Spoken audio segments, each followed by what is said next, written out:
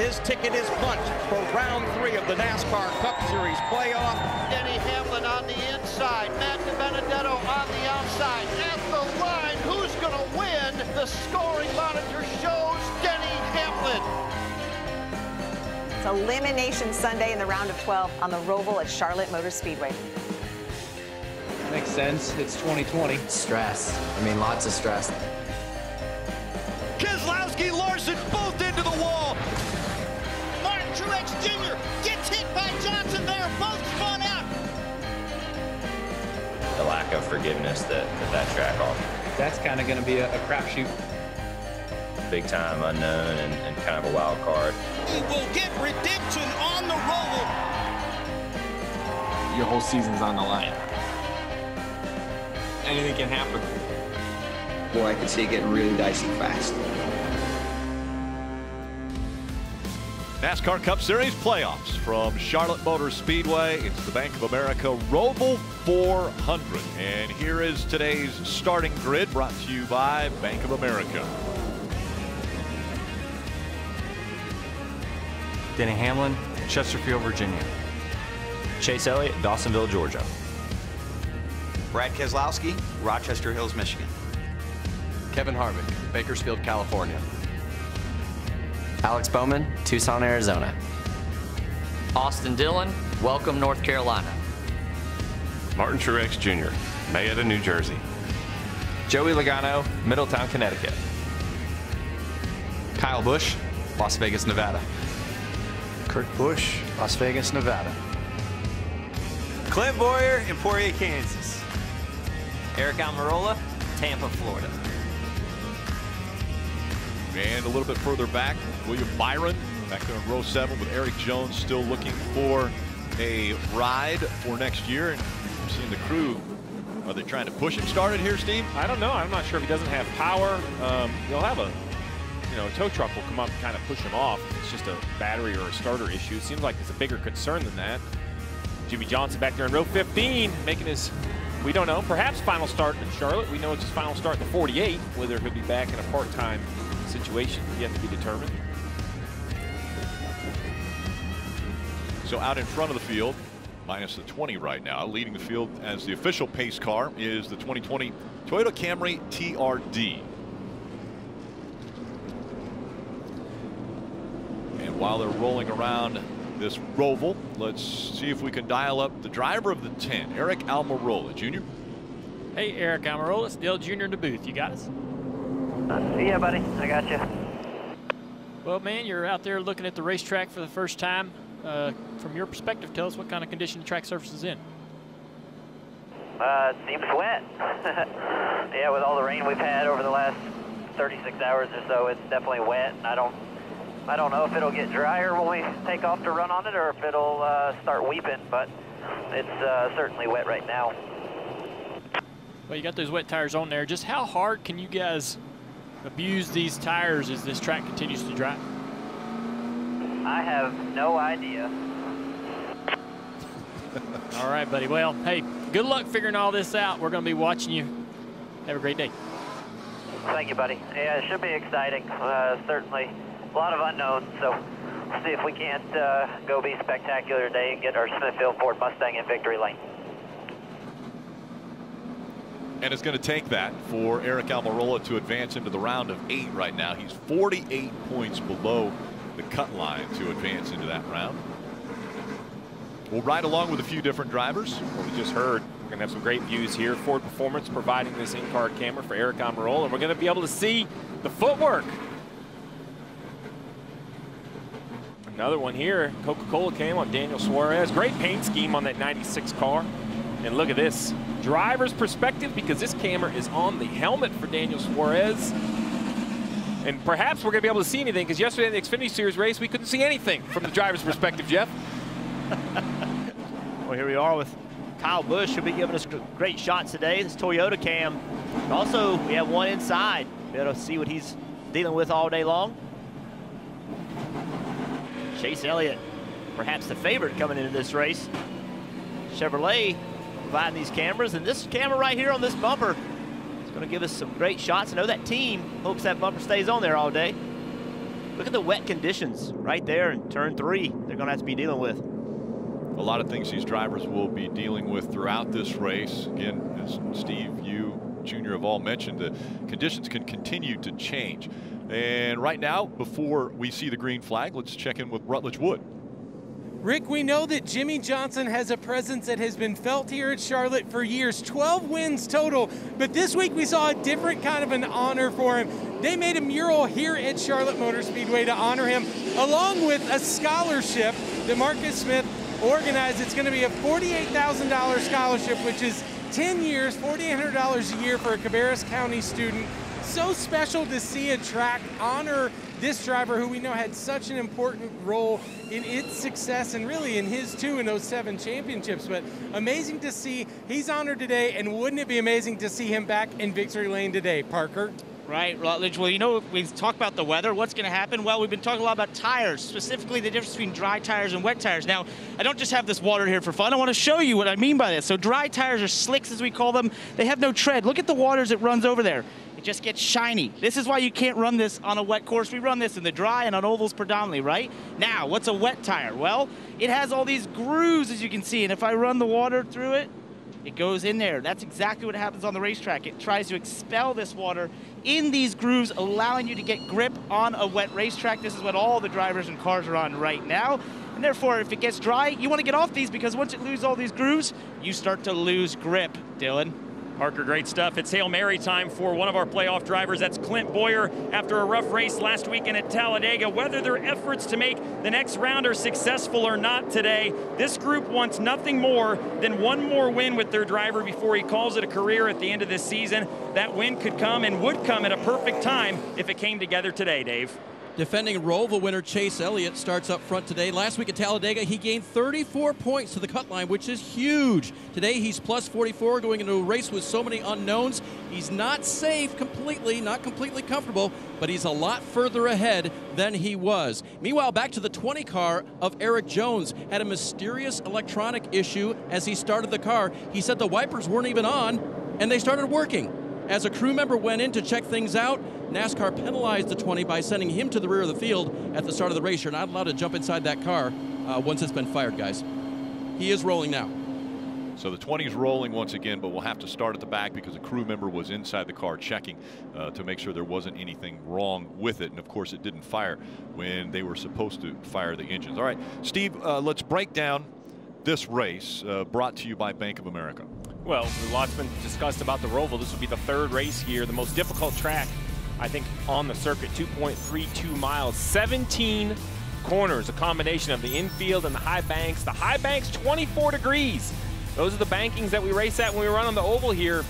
Predominantly left-hand turns, though. 12 lefts, only five rights. You got to think about that when you set up your race car. You can maybe, uh, you know, kind of cheat the system for those left-hand corners. And then 25 laps stage one, 25 laps stage two. That final stage, 59 laps. The fuel window, somewhere 35 to 37 laps. You maybe could go a little bit further if it's in wet condition. And that is the condition we're going to start. NASCAR has determined that we are in wet condition, so every car out there has rain tires on. You see the list of where rain tires have been used in the Cup Series, Rick. Yeah, only four sets of those rain tires. Uh, but Steve, you know, it hasn't happened since, you know, so long ago when they were racing on them. When will they know to switch over to dries? Well, you heard Aric Almirola. He has no idea. I mean, I mean, look at the dates there. 2000 was the most recent date. Most of these drivers weren't in the series in 2000, and the transition is the challenge. I think that the conditions currently are, are lined up perfectly. As you see, wet conditions, you have to have that rear light. It's a flashing red light or a solid red light. That's not connected to the brake pedal like your street car. That's just for vision. The windshield wiper optional. Uh, you hopefully have some sort of defogging system if the rain does come, and then rain tires is how these cars will start. But Rick, the big question is, how quickly will it dry? Where will it dry? Jeff, you and I have had this conversation. Will it be the bankings that dry first, and how much will that damage the tire? I, I think that's the big challenge for the crew chiefs and the drivers, that the banking of the oval track starts to dry the quickest, well, that's where the most load and the most speed is on those dry tires. And you can wear them out in the banking, but when you get to the infield section, you're going to want those wet tires. So that's just going to be a really tough situation for the drivers and the crew chiefs to figure out. So you see, look at Kyle Busch on his roof right there. You see, that's the road course. That's the map layout with numbers in all the corners. And why is that important? Because communicating is huge, right, Steve? Being able to tell the crew chief, okay, turn three, I'm having this issue. Turn five, I'm having that issue. So you're all talking the same language. And remember, they won't go through the chicane on the front for the start or the restart. So they can be carrying more speed into turn one than they would normally when they're going around the track. It's a cut race, the elimination race from the Charlotte Roval, and the green flag's in the air.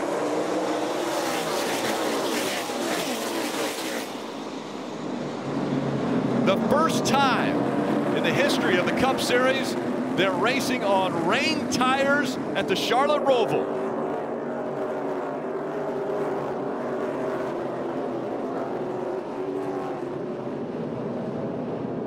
See right there, turn three. That right there is right, right now probably the wettest part of the racetrack.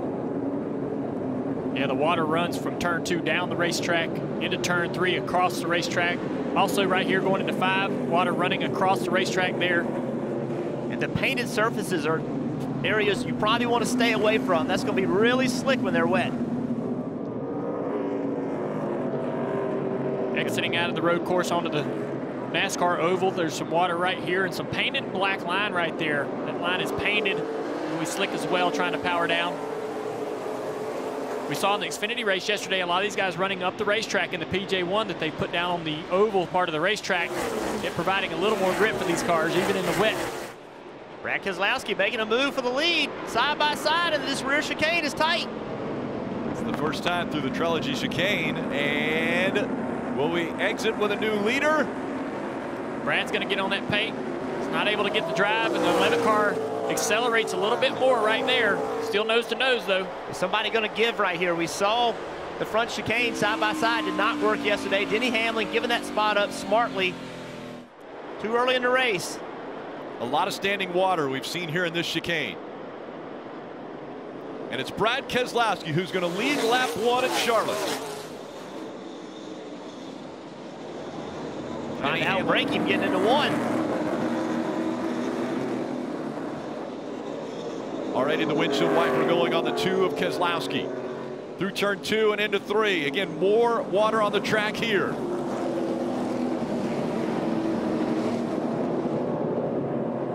Yesterday in the Xfinity Series, we saw race leader Noah Gragson spin on his own as he was coming through this straightaway. Really nice job, all these drivers on lap one. Conditions they've never dealt with before. Everybody found their way around it. Nice work. Talk about the painted surfaces on this racetrack and that black line right here through this corner. Three car of Austin Dillon tries to power down as he crosses across that. You see how it loses rear grip. Jerks the car sideways. All these guys have to drive across this. It will drive up eventually. It's going to be challenging the Mentioned challenging. It's all co comes down to comfort. One driver that must be comfortable in the rain is Mike McDowell in the 34 car. He's currently up 10 spots since the start of the race. Known for his road course racing experience, I think he was able to attack a little more than some of the drivers that perhaps were a little more timid for good reason. And you said that name, and immediately I thought, why didn't I have him in my fantasy lineup? Because you knew he was going to be good here at the, at the Roval. A lot of rain running across the racetrack right here in this braking zone as they're trying to slow down for the front straightaway chicane. Standing water right here at the apex. Ty Dillon, a little bit of 13 car in front of Kyle Busch. He's got a he's had a really good start of this race also, gained a lot of spots. You can hear wheel spin just going across the start finish line, guys. Because it's painted. Yeah. yeah. We heard that a lot yesterday too, but it's interesting when they're getting up to speed there, the wheels break free on that paint at the start finish line. Cars are starting to create some grooves in the racetrack. Really wet over here, though. They do not dare go across that painted line to the right there and get out, get out on that extra asphalt. It'd be nice if it was dry, but right now it's holding water out there and they're staying away from it. Are you surprised that no one has been a little overly aggressive early This- in this race? It's exactly what we saw at Daytona when they ran the Daytona road course. We saw the Xfinity guys all go down into turn one and crash. Well, a couple guys were watching that. They all got on the phone together, texting each other, saying, hey, let's try not to make, you know, let's try not to make that same mistake. I think they all watched that race yesterday in the Xfinity Series, learned a ton. They all communicate with each other. Big giant group of them. Right here, watching the nine car trying to break in the braking zone on the back straightaway chicane, staying off the painted stripes, be able to get maximum braking pressure and performance out of his car. And Denny just gave that spot up. Just not wanting to go in there side by side right now. Even in the dry, it's difficult side by side. Denny just wisely on lap three said, you know what, you're a little quicker than me. Not going to put myself in a bad situation. Look at Ty Dillon, guys. Ty Dillon has gotten by the 22 of Logano. He's now on the back bumper of Kevin Harvick. Ty Dillon is a driver who's looking for a ride next year. Germain Racing. Here, he's going to dive hard into this corner here on the inside. On the restart, on the initial start of the race, he dove to the inside. Everyone else was taking it very careful. And he dove to the inside, passing two or three rows of cars before the first turn. Dillon Junior, this is one of those races where it's an opportunity. We talk about it so much, but look at last week, too. They finished third at Talladega. That's another one of those races where anything can happen. So coming into this race, it was the same kind of mentality for Ty Dillon. Hey, look, we just got to get up front here and then conserve and, and do what we have to do to finish. So that's their biggest motivation right now, and the biggest thing they're trying to do is put ourselves in position early to just survive, and then we can hang on from there. So two good weeks going so far after the third last week, and then he's driving through the field right now already into the top five. One of the big advantages for Ty Dillon is that he has two Xfinity starts in the rain. So he's relying on that experience right now. It's serving him well. He's one of the biggest movers. Michael McDowell, the other one. Oh, he's in deep right here. Can he get it slowed down? yes, nice job. Saw Erik Jones also on that list, Rick, and he had to come from the back of the field after having some issues on pit road to start the race. Martin Truex Jr. making the high line work here as they get ready to come into the front stretch chicane. Seems like when they run that high line in three and four a NASCAR oval coming onto the front straightaway for the final chicane, it does set them up better for a better, straighter braking zone. You want to brake with the wheel straight. You don't want to turn the wheel and be braking. That's when you're going to slide, lock up the front tires if you have one loaded more than the other. Ty Dillon all the way up to third. Brad Keselowski out front of the field. You're watching the NASCAR Cup Series playoffs on NBC. It's a Bank of America Roval 400.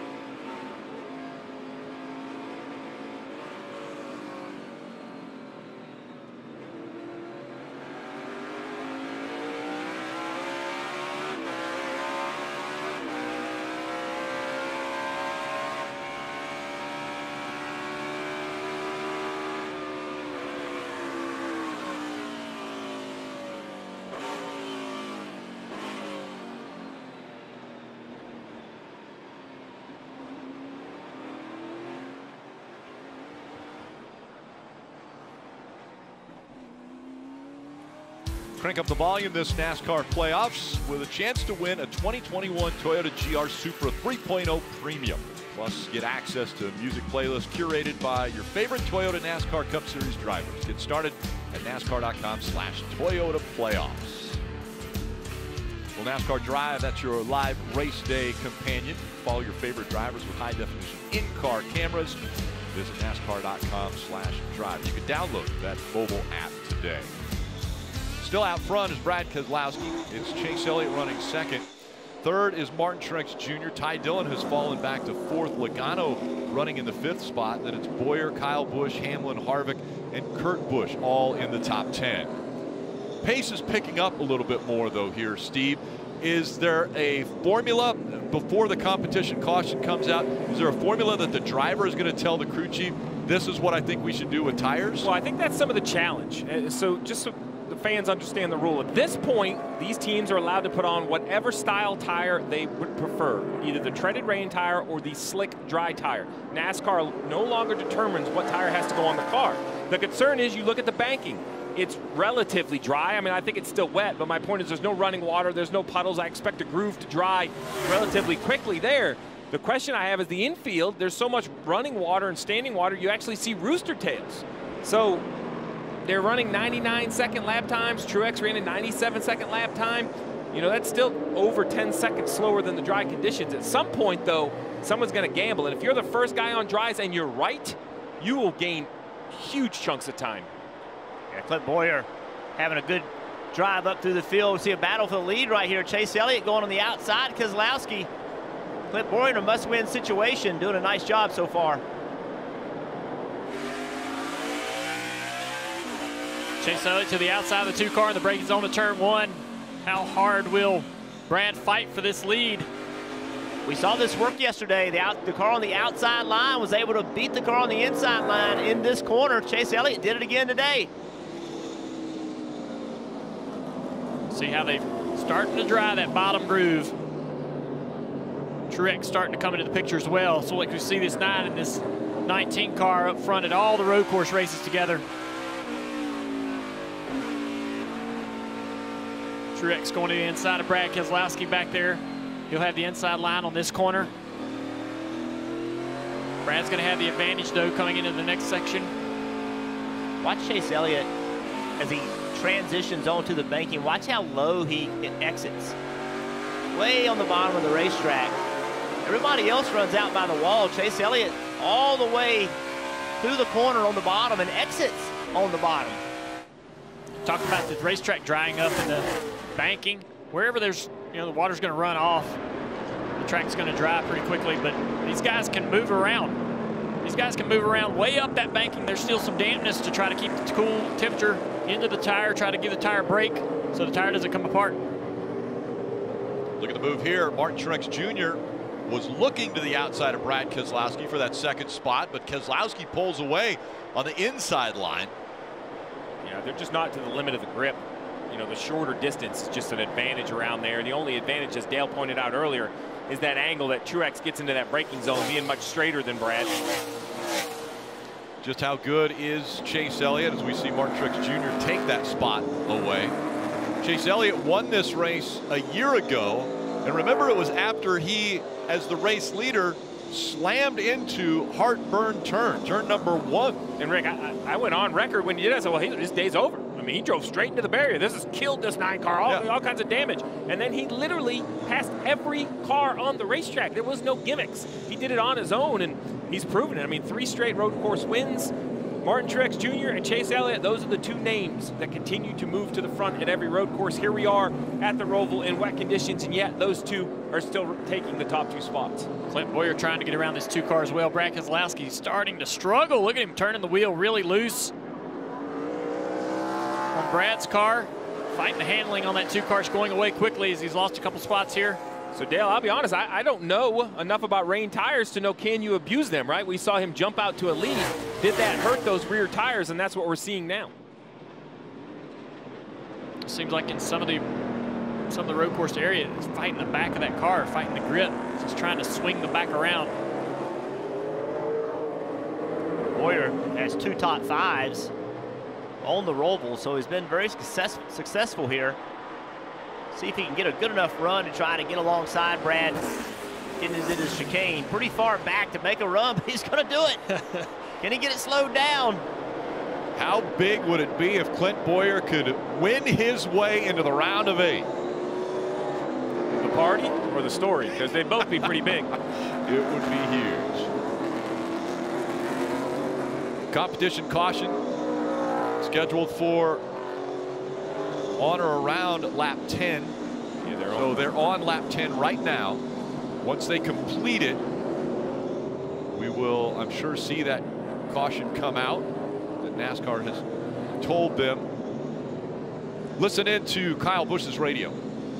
Drying up at all? Uh, there's still a lot of water spots, treacherous ones, and it's staying damp about everywhere. There's, it's really not getting dry dry.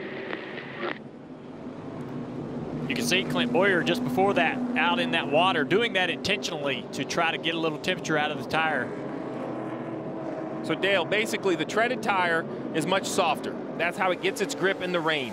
When you start to dry, it gets too warm and actually it starts chunking. The rubber comes off. So as a driver, it's your job. You just mentioned it, what Clint was doing. You have to go find me some puddles. If, if you're convincing the crew chief me that I got to stay on wets for traction, then my challenge back to you is, all right, buddy, well, you better cool them when you can. Things are picking up. Take a look at today's Xfinity fastest lap. Clint Bowyer on lap six. A 97 second lap. So the pace is definitely increasing. Drivers getting a little more comfortable out there on this racing surface. It's only going to get faster as this track dries. It'll be amazing how much faster they can run on a completely dry track with slick tires. Clint Bowyer really impressive right here. Not surprising though. Clint Bowyer is a good road racer, but he is running the leader down. Truex in front of him. There it is, the competition caution. Chase Elliott, we knew he was going to be the favorite after winning here a year ago. Well, he's got a hell of a view up front, and his fans also got a hell of a view leading here at the Charlotte Roval.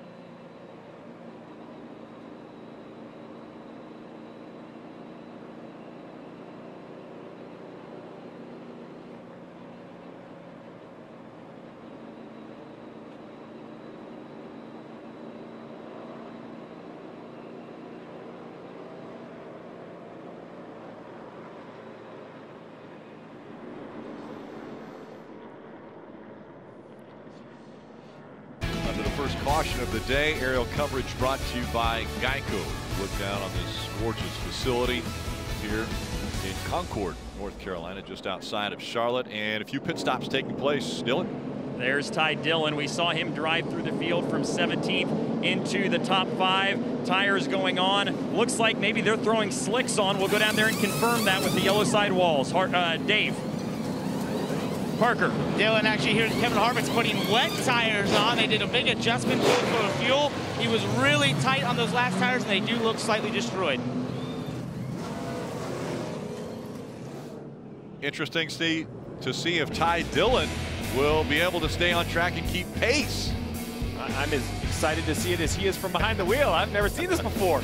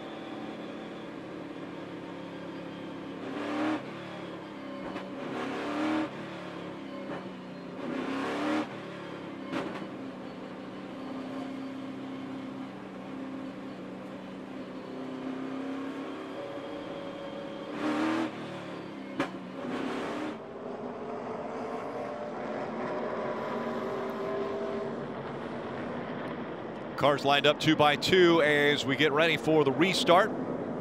Chase Elliott in the nine on the inside. Martin Truex Jr. in the 19 on the outside. Again, they go through the restart zone and they will dive into Tom's heartburn turn. That's turn one here at the Roval.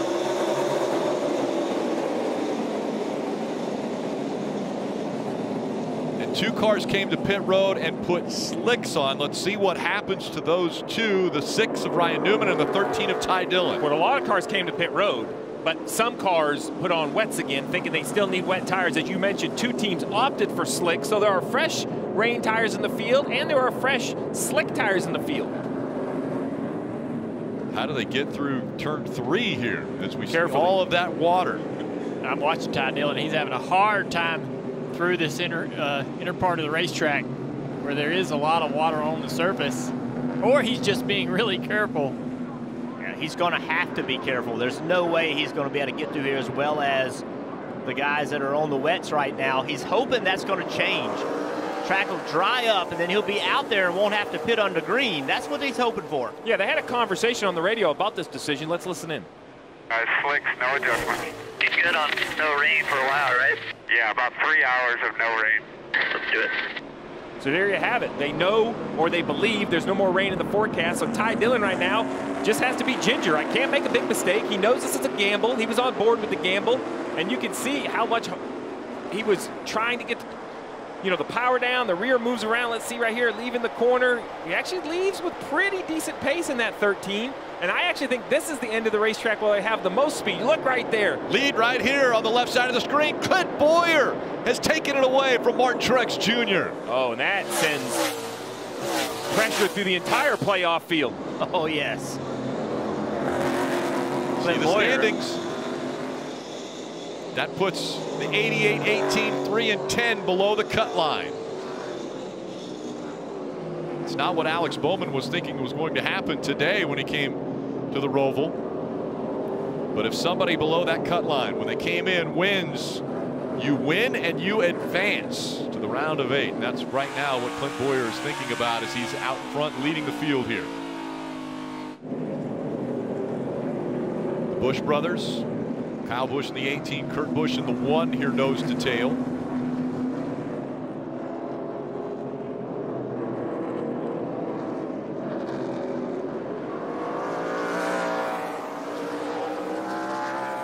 mentioned when you saw those standings, the 18, Kyle Busch below the cut line. The defending series champion potentially eliminated from the playoffs after this race. It would be the earliest that a defending series champion has ever been eliminated from the playoffs. Kyle Busch right now fighting to keep his championship hopes alive. This is where you see the championship four eliminated.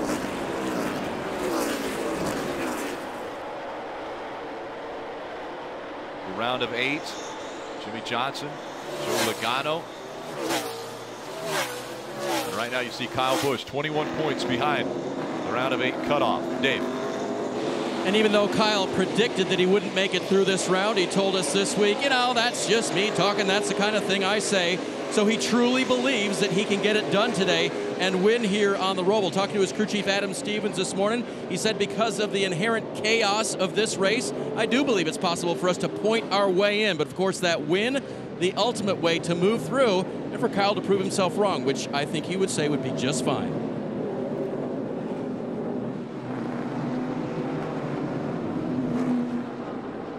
See the 96 there, Daniel Suarez trying to move up.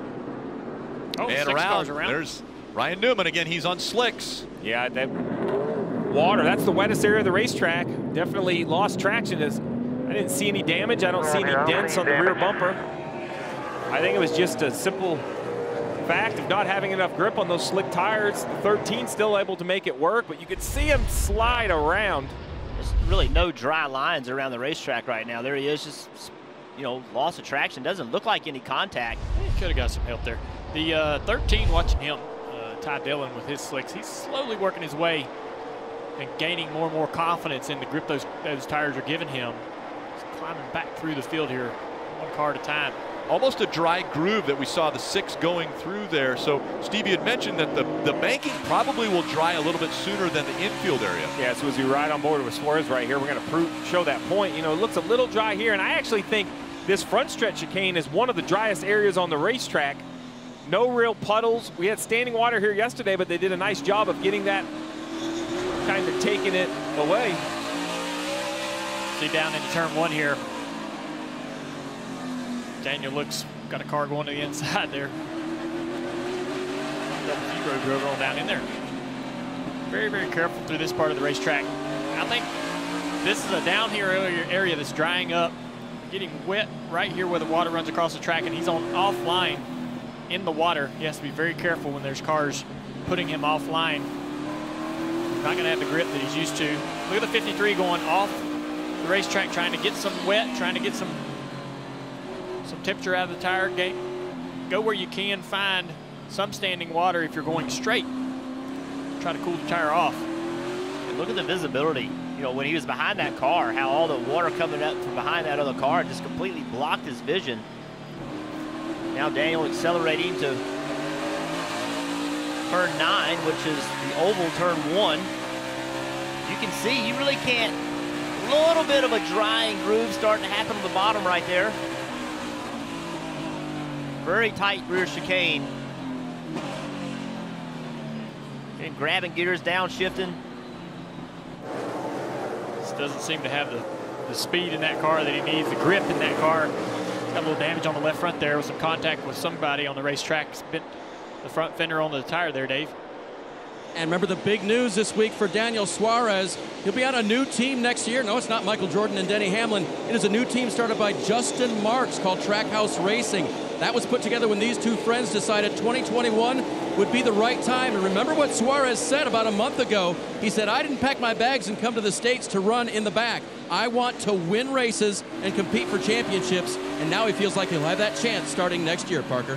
And Dave, who just turned one of the top five fastest lap times, that was Ty Dillon, who's on slicks. Kevin Harvick, we're watching there, pitted under that last caution onto wet tires. Why? Because his right front was so worn out on those wet set tires, as you'll see here, it was actually sort of blistering and coming apart where the blocks are. And therefore, that's the sort of thing that happens when the track starts to dry out and you're stuck on those wet tires. So right now, we're seeing the crossover moment. For those drivers at the front that didn't pit, they've got to make those wet tires last almost nine laps here without having that blistering happening, or they're going to have to come down and get slicks because that 13 at Ty Dillon is turning some of the fastest lap times on the racetrack. This is the crossover moment, Steve. It is Parker for sure. Drivers, this 13 just looks like he has a ton more grip. You see right there, four seconds faster right there. I think we had that wrong. The slicks are four seconds faster than the rain tires. They're running 84 seconds. Look at the 13 right here. Easily clears the 11, pulls away. He'll have a ton more speed than the 22 in front of him. Not only, Steve, does this mean that the these slicks, which are the wet, the dry tires, are faster. It also means that it's going to start to damage the wet tires. Yeah. We saw that report from Parker. So, you know, this, this is going to drive without a caution. This may drive guys onto pit road. I'm watching the leader of the 14 car, Clint Bowyer, and running in second place, Mark Truex Jr. in the NASCAR Oval. They are running right on the fence, trying to find water to survive them tires. Parker. Guys, here's our first takers on pit road. Seeing the speed of that 13 is Christopher Bell in the 95. He's putting slick tires on. Right behind him is seven-time champion Jimmie Johnson, also putting on slick tires. Going to run this to the end of the stage. So really there's only a couple spots on the track right now where there's water still sitting or maybe running across it. Watch the That's what 14 every- here. That's what everybody has to be worried about. Watch where he's running way up the racetrack because that's really the only damp area in the NASCAR Oval where you talked about it, Jeff. The most load these tires are going to see, the most abuse these rain tires will get. Trying to get up there and, and trying to get as much as he can out of these tires before he has to come to pit road. What makes this difficult, this decision even more difficult is the stage end, right? Nobody wants to pit that needs stage points before the end of this stage. If they could make it last for seven more laps, they could make, maybe gain positions. The problem is, will a tire fail because it gets so hot and starts wearing out before you get to the end of this stage? Clint Bowyer out front. Does he stay out there on the wet tires? Does he come to pit road? That's why you got to stick around and watch. Ty Bill.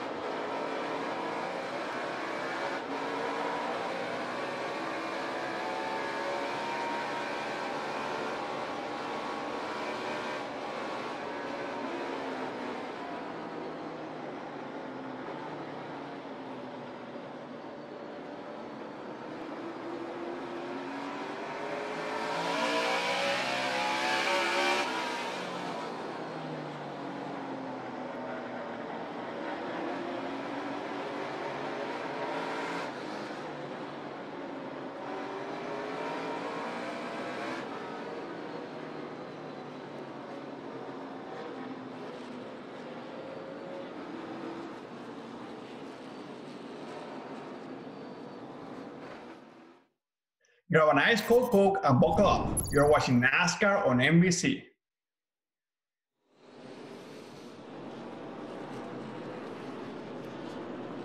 Changing track conditions. The big storyline at Charlotte Roval.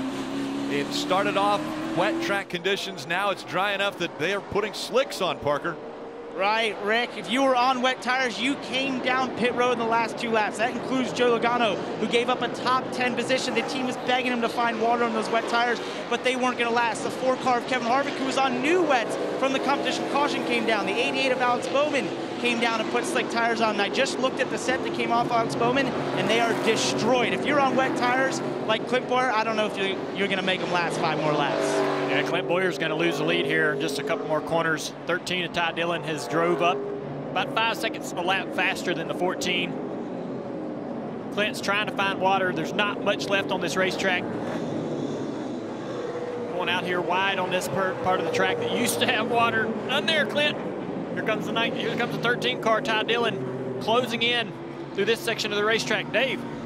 Brad Keselowski on pit road in the two car wasn't a stage points paying position, but 41 points to the good coming in. They decided to go with a plan, which was when it's time to put on the dries, you do it. Denny Hamlin on your left hand side as well. Now on the right, he as well is getting the slick tires on his car. Of course, he's already through because he won last weekend. And the fight for the lead it is go. Everyone else is coming. Yeah, it's not gonna be- five to go. Just don't have a tire issue. Want to get stage points. not going to be much of a fight. Ty Dillon easily gets by the 14 and leads at Charlotte. So Ty Dillon, if we don't have a yellow or anything else crazy happen, should go go ahead and drive away and win this stage. Clint is in real uh, anxiety to try to get these tires to make it to the finish. Will his tires make it to the finish without chunking apart, without coming apart and forcing him to pit road? The 11 car off the racetrack. And maybe stuck. He's going to get out of the grass.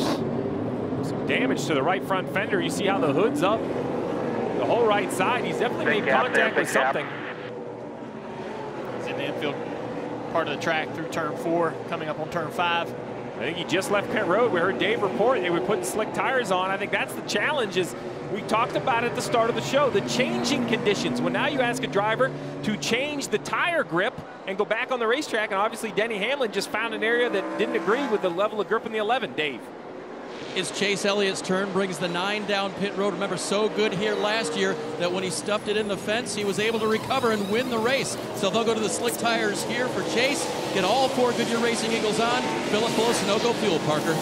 And Aric Almirola doing the same thing here coming down pit road. He was on wet tires they had put on under the competition caution, but could not make them last. They got to get on slick for the 10 of Aric Almirola running just outside the top 10. And Steve, I'm looking now at race strategy. These guys who are on pit road, fill it up with fuel, they won't stop at the end of stage one. They might be able to make it all the way to the end of stage two. Yeah, I think they'll probably pit right before that as well. Let's take a look at there's Denny Hamlin on the right side of your screen spinning out. I believe that's exiting turn four. And some pretty good contact with the tire barrier. Was able to get going and back on the track. Yeah, Rick, I mean, that's the thing is not only is it a tire selection, but there's this battle for track position with fuel. And I expect these cars to pit now and then pit again at the end. Oh, as we have, I think that's John Hunter Nemechek off the track. Sure enough, John Hunter Nemechek is off track and not rolling. Well, now he's going to try to go. Yeah, that's, in- that's turn six up the hill. He's got something tied up to the front of the car. He's got some damage to the Well, he has right front. And he's got the racing slicks on, and he's in wet grass, and he's just not going. He can't go uphill. Well, Clint Bowyer's saying throw the caution, throw the caution. He's out here kind of nurse these rain tires, Bird. The 14 car would love to see a caution. Yeah, he would. Matt DiBenedetto, he is out there. He is also on dry tires, so he is running down Clint Bowyer. Looks like John Hunter Nemechek is going to be stuck here. He just can't get out. Here's what happened to him. There's the caution.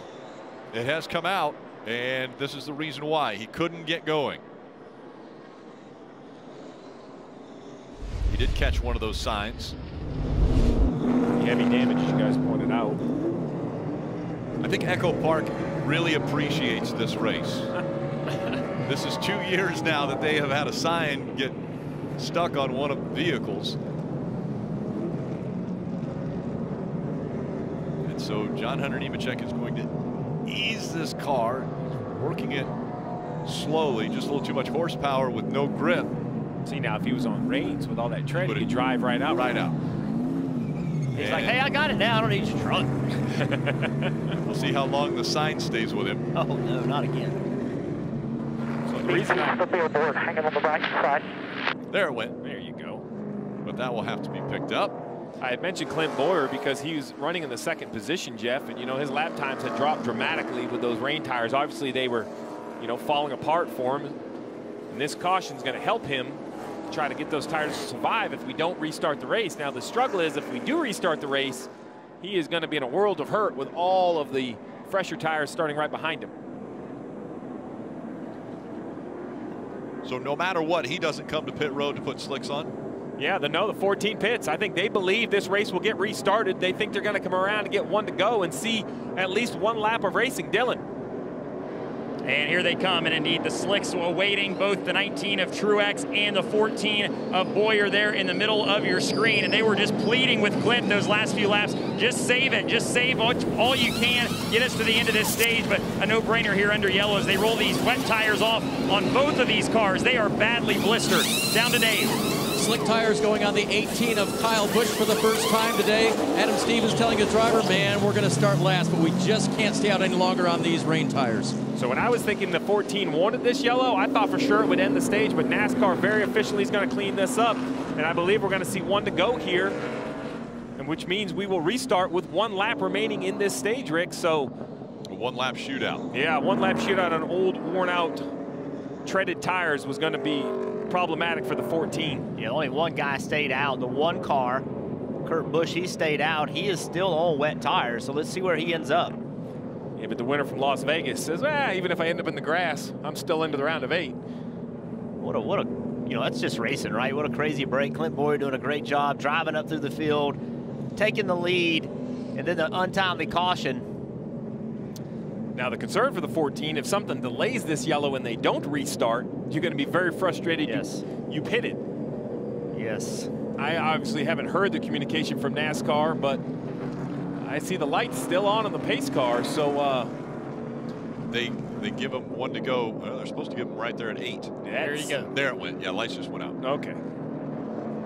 All right, race fans, test your motorsports knowledge in the Bank of America Roval 400 Trivia Challenge. Play today only at roval400.com, roval400trivia.com for chance to win a $50 credit to the Roval 400 fan shop. Rut.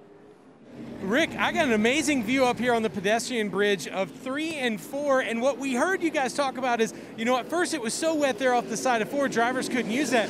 Well, watching the last caution before this one, most of the field came over here in all this wet stuff to cool those tires off. That was such a help to Ty Dillon because that dried this stuff off more than anything else. The wild thing is you can see now we've got all these light towers that Marcus Smith brought in last night.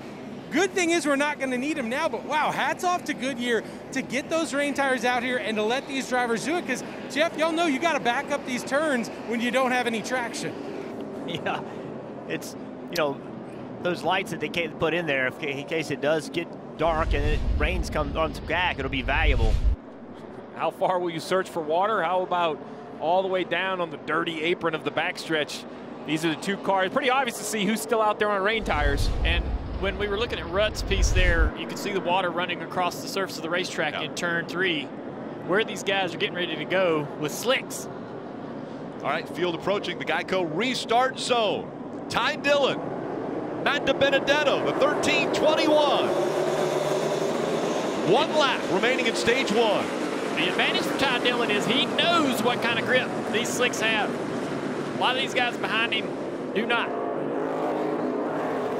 You don't want to go side by side through this corner here, turn three, especially on the left-hand side. There's a lot of water there.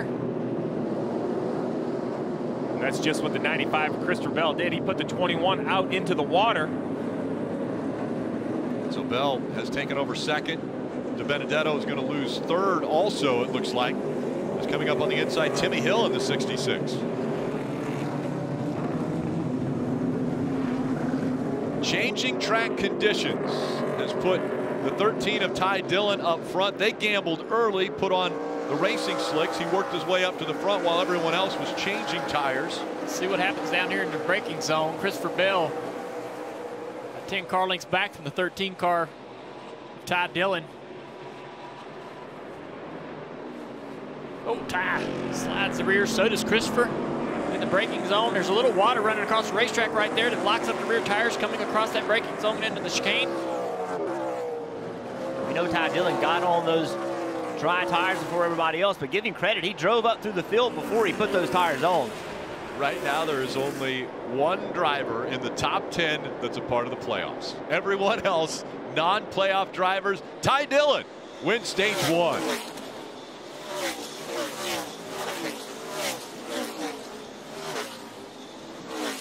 I didn't have that in my fantasy. Ty Dillon, stage winner. Christopher Bell was second. DiBenedetto, William Byron, and Timmy Hill, all part of the top five. But Ty Dillon grabs his third stage win in his career, and right now, Ty Dillon and the team looking pretty smart here at the Charlotte Roval.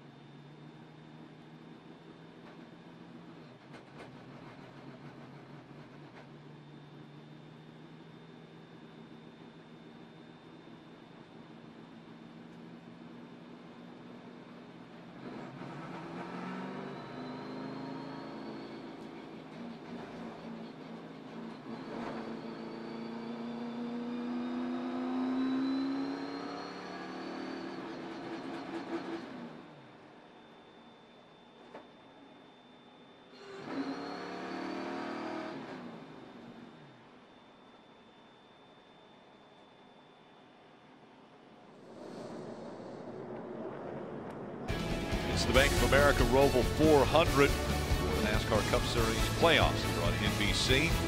And now pit road about to get busy as we see the 13 make his way onto pit road. Dylan. And Ty Dillon into his pit stall, going to get a fresh set of sticker slicks from Goodyear, along with Sunoco fuel as they work around the right side and now over to the left side as well. Kurt Busch in a little further down the road. He'll get some slicks as well. Four Goodyear tires, Sunoco fuel. Parker. You see the four there of Kevin Harvick coming down pit road. The crews had to go underneath trying to work on some damage there to the hood and trying to get it down. It seems like they got a little damage one of those restarts, Dave. Denny Hamlin into his pit stall. Remember, shortly after he took the slicks, had some contact after a spin. Already through the round of eight. They're just taking their time here, fixing that car a little bit, getting four fresh Goodyear tires and Sunoco fuel. Rick? Thanks, Dave.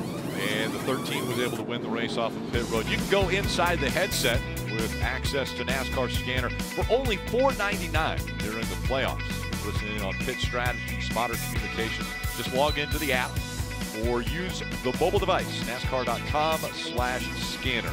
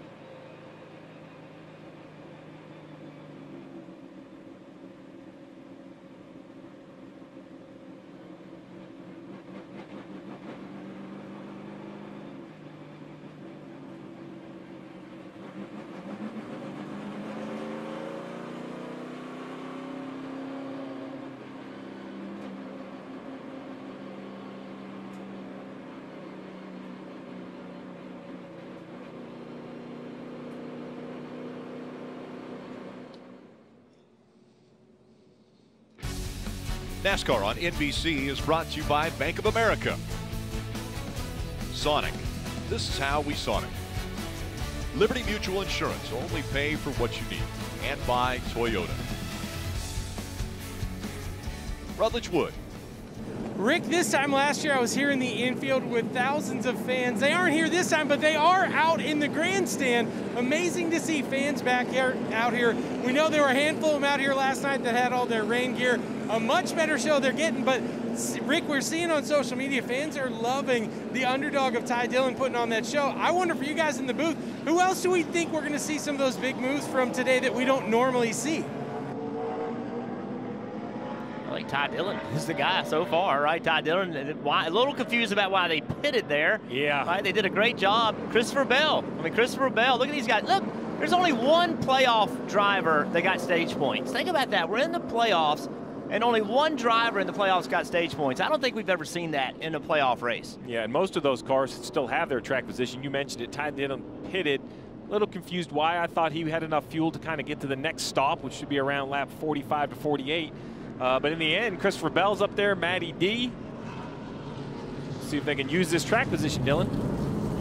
Hey, and Steve, we've talked about some of the other challenges of changing the cars over from wet to dry in addition to just changing tires. So get a load of this. On Clint Bowyer's car, when they changed over to slicks, they pulled this out of the right side window. That's a cover for the air hoses that go out the right side of the car that flow cool air to the driver's helmet. So obviously when it's wet, you need to have that covered so you don't have water and, and stuff like that coming in through the driver's helmet cooling hose. So now that it's dry, there's no water coming into the cockpit. They took that plate off. Now it's just dry, clean, uh, cool air flowing into the helmet for Clint Bowyer. Well, I don't want to be Debbie Downer, Rick, but looking at the radar and 82 laps to go, it's going to be dry for a long time, but it is not out.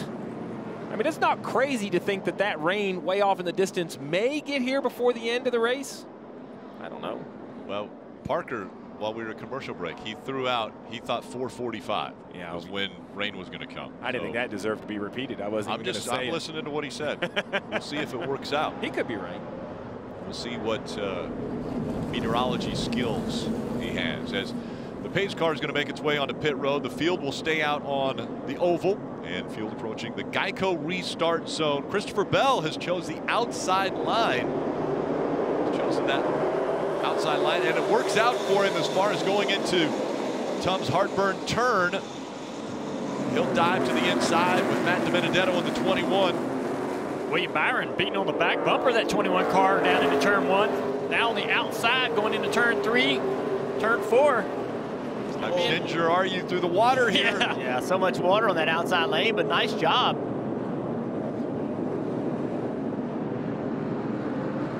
Going to take that spot away. Second place to William Byron.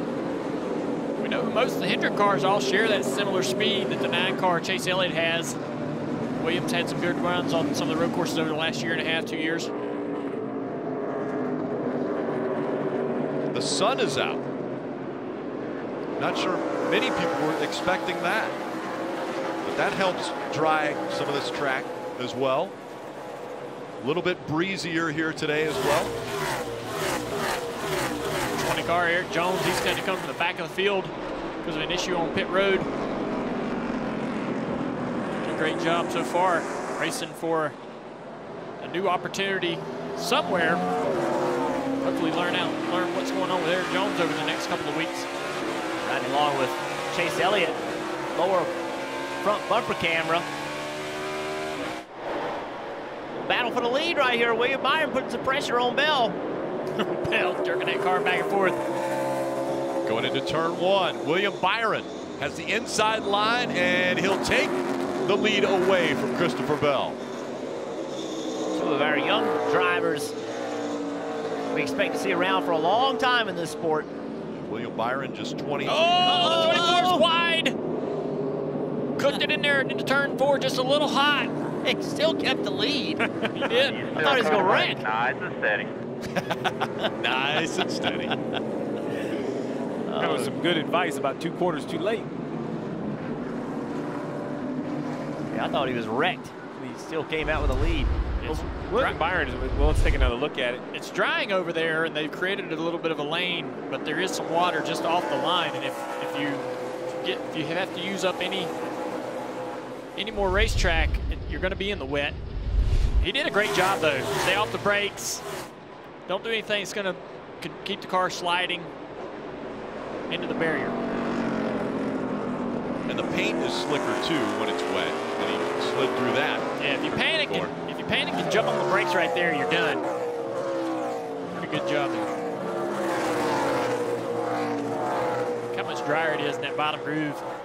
You see him kind of stacked up behind Ryan Newman. I think Ryan's holding this group up a little bit. Blaney going to jump on the inside of him. Jimmie Johnson trying to follow him through. Surprised Jimmie was able to make that work. It's not done yet. Erik Jones on the inside, three wide. Yeah, that's not going to work going into turn one.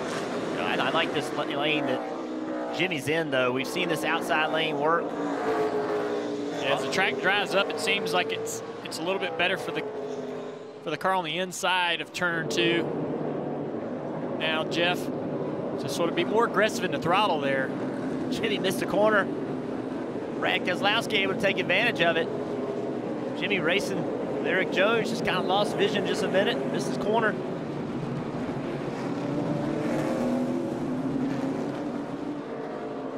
So William Byron has taken the top spot away from Christopher Bell, the DiBenedetto, Logano, and Blaney all a part of the top five.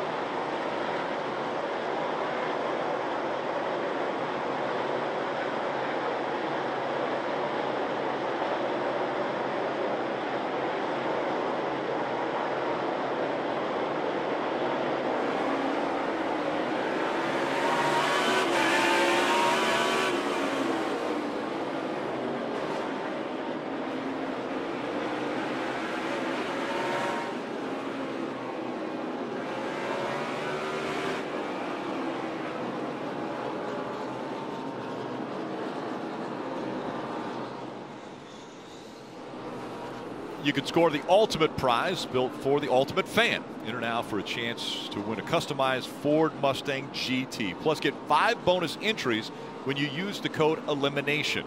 Get started at NASCAR.com slash Ford playoffs promo. And thankfully, Aric Almirola has given us an opportunity and Ford to see the footwork that is going on. Drivers, I tell you, shocking how you can focus on the road or on the track the steering wheel and operating both feet at the same time. Yeah, you see Aric Almirola, how much, how busy he is under attack right now from Kurt Busch. So he pump the brake a little bit as he's still wide open through the banking. He's just trying to understand how much brake pressure he has, how much performance he can expect out of the brakes once he does get to the braking zone. See if he does that again around the banking. See on his upshift, absolutely no clutch whatsoever.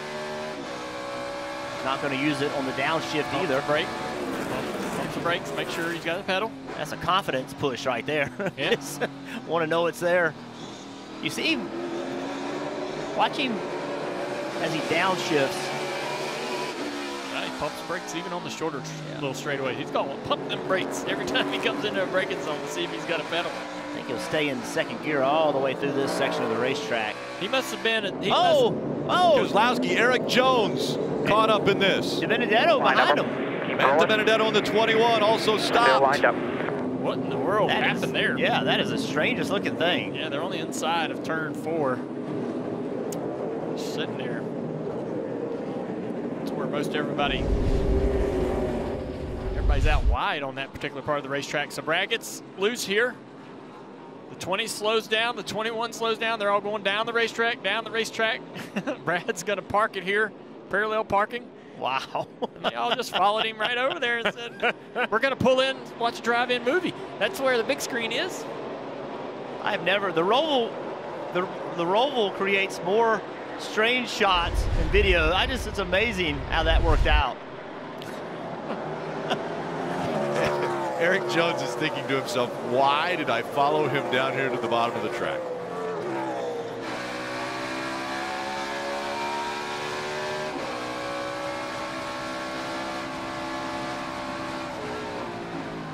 Back from Almirola, he is currently in the 15th spot. Keselowski behind him, Erik Jones.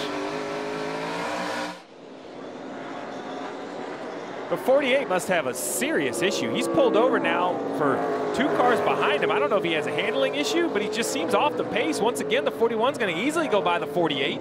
Yeah, Steve, he, he through the front chicane. He entered the chicane on the right-hand side. Christopher Bell, he was running second. He goes around.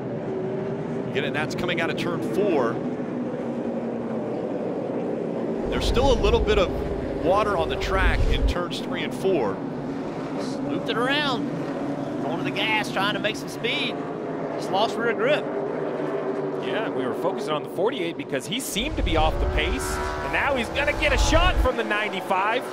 News came out this week. We know the driver that will replace Jimmie Johnson in the 48, Alex Bowman, will move over from the 88 to the 48. So staying in Hendrick Motorsports, very comfortable, same cars, same team he uses this year, but will drive the Ally-sponsored 48.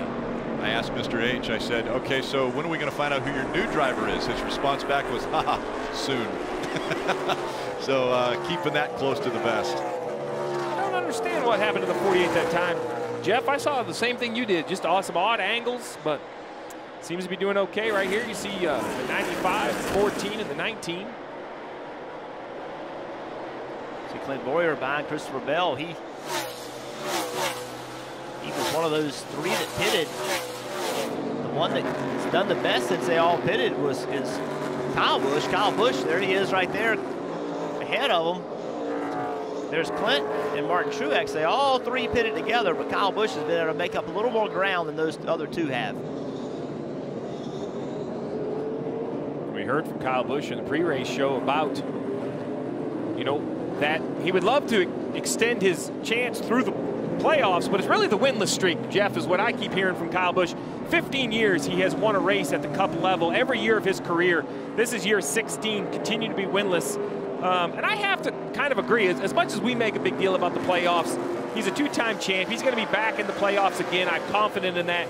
But that is a streak that, you know, he's not going to get 15 or 16 more years in his career. This is something he wants to continue. Yeah, NASCAR's made it simple with this uh, with this playoff structure and basically even to the regular season. A win takes care of everything. So that's all you have to focus as a driver on. You don't have to worry about the playoffs and making it to the next round. If you worry about winning, and you do, it takes care of everything. So the, so the challenge, and I wonder this, so Dale Jr., if Kyle Busch wins today, does he become a favorite of Phoenix instantly, overnight from winless to a favorite? I talked about it at the top of the show. He wasn't having the greatest of years last year and ended up winning the championship. They had some struggles. And I think that everyone in the playoffs right now is looking at him as still a contender, still a guy. It's, they don't want to see him in the Final Four. Yeah. He's not a he's not a pushover. This guy can get in that Final Four and show up and win. You also mentioned that Kyle Busch's desire to, to go through a season, you know, he's, every season he's won and not to not win, but also from a driver's perspective, when does the downturn start in your career, right? And so I know Kyle Busch, I don't care how confident you are, I don't know how good you are, it happens to everybody, and they've all watched it happen to everybody. So you're terrified, is that going to happen to you? And when you go through two years of not really winning races like you expect to, that starts to creep in your mind. There's no way it can't. Yeah, you drivers don't forget anything. Very good memories. We now invite you to the fast lane, brought to you by Coca-Cola. Daniel Suarez we're riding along with on the left and the helmet cam.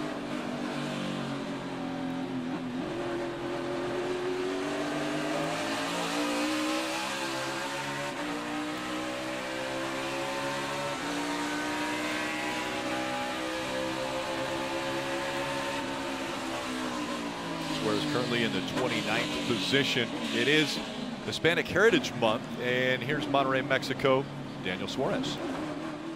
Hispanic Heritage Month uh, means a lot. You know, I was born and raised in Mexico. This country celebrates between the 15th of September to the 15th of October the Hispanic Heritage Month. It really makes me very proud to be the only Mexican driver in the Cup Series. We have a very special paint scheme that Coca-Cola put a lot of time into this. Uh, we got a Mexican artist uh, from Saltillo working on this paint scheme and the paint scheme is actually based on a sarape, which is a very, very Mexican thing. And uh, very excited already to have this very special paint scheme. In the Hispanic Heritage Month, the car is gonna be having a special message on the, on the side of the car, which is gonna connect the Hispanic, the Hispanic heritage and, uh, and also a racing world.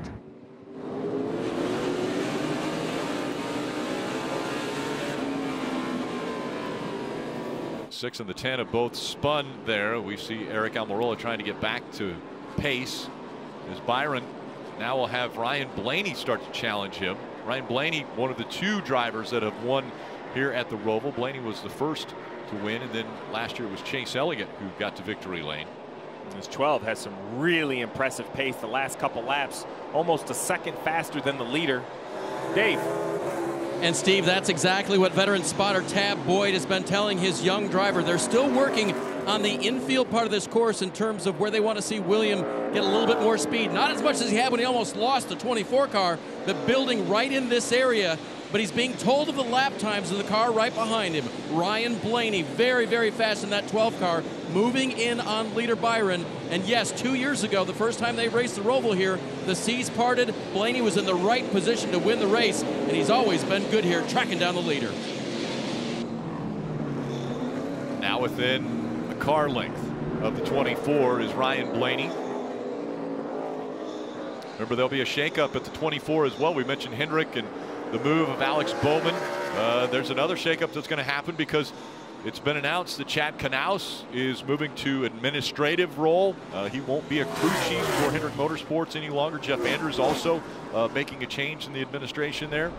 Yeah, I'm happy for Jeff. Oh, oh hey. wow. A wheel hopper, tire slide, or whatever it was, it was. Yeah, there's water running across the racetrack in that braking zone. That's the one thing about this racetrack as it dries there is places where water runs from the from the safer barrier that's trapped. You can see it right there. And that's going to be there most of the day for these guys to navigate. Interesting also how much curb Blaney uses as compared to William Byron. Blaney on the inside of William. Going to make this pass. Watch William Byron now that he's gotten, got, I'm sorry, watch Blaney now that he's gotten the lead. Let's see if he continues to use that much curb hard on the car. Bouncing off of them. These curbs are much higher than what we see at a lot of racetracks. Yeah, he's all over them. Very aggressive on them. Surprised he can make that work with them still being wet. 11 laps to go in stage two. New leader is Ryan Blaney. So the track might look dry to most, but there's a few that are still having their hands full William Byron there, and Aric Almirola right here.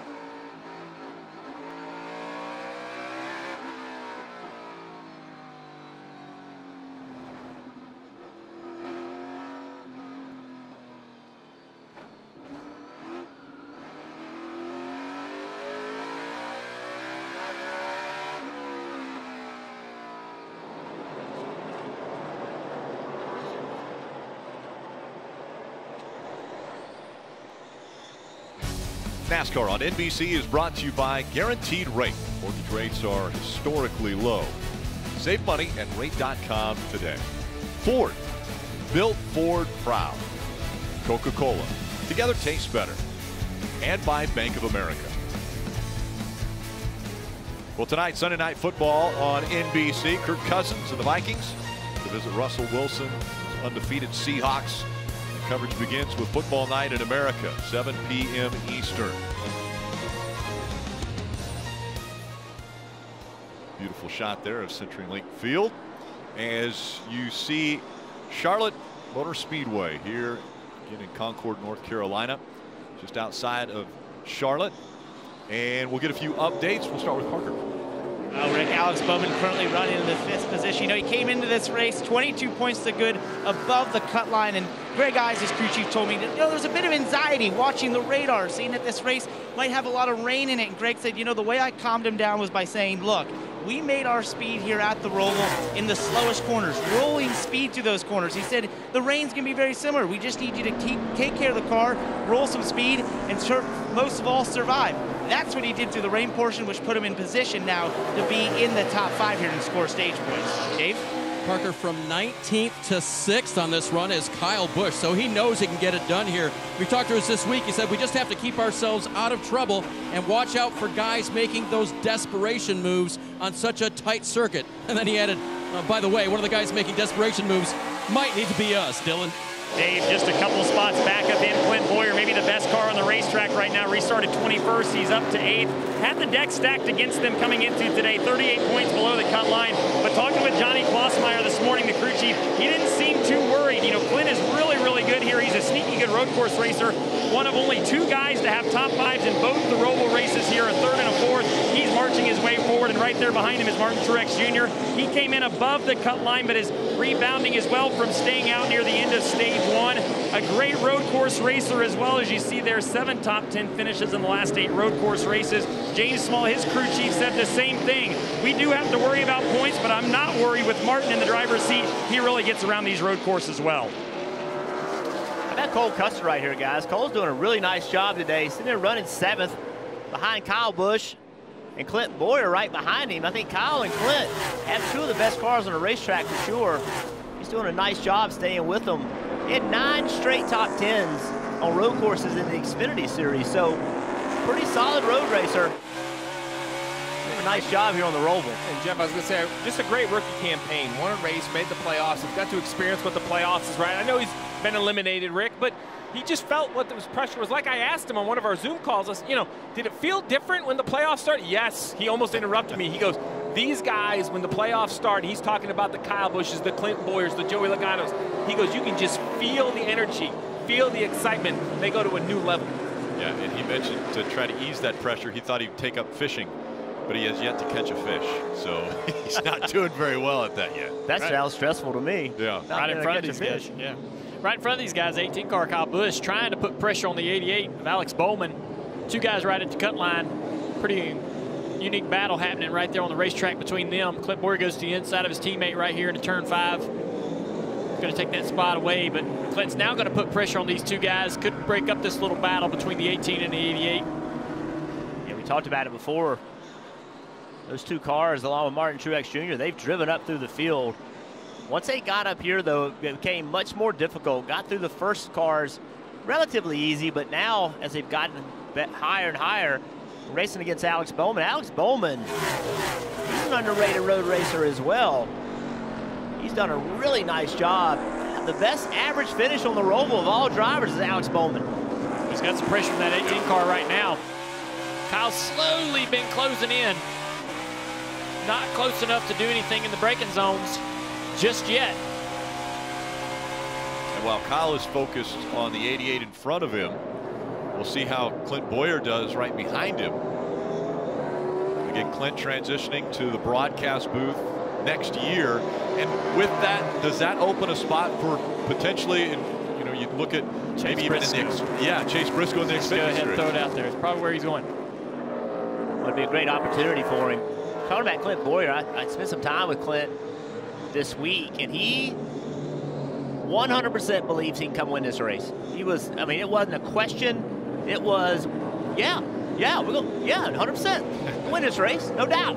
So he came in here with a ton of confidence. And when I talked to him this morning, I congratulated him on that announcement. And, you know, Jeff, what I think made him sound the most dangerous is I said, what are you going to do today? I'm going to have fun.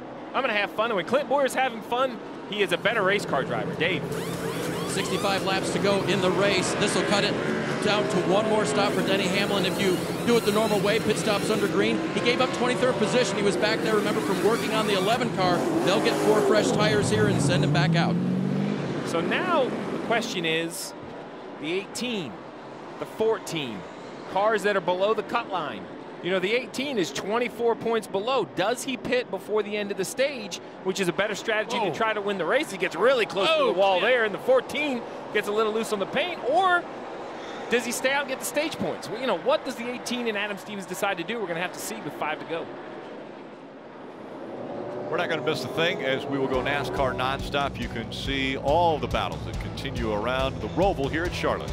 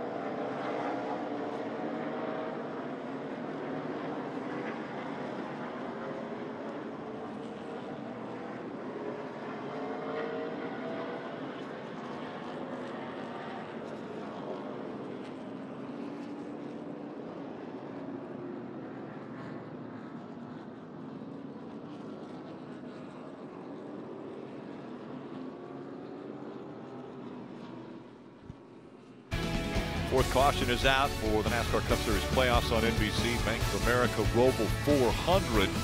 And as you saw in NASCAR nonstop, the 77 of J.J. Yeley. Uh, damage to the back of that car. Earlier in the race, JJ gets turned around here in the chicane on the back straightaway. And then in turn five, up the hill to six, he gets off racetrack and in the barrier here to bring out this yellow. He finally got his car rolling. NASCAR throws the yellows, the leaders in the middle of three and four. Leader was coming to pit road though. That yellow didn't come out.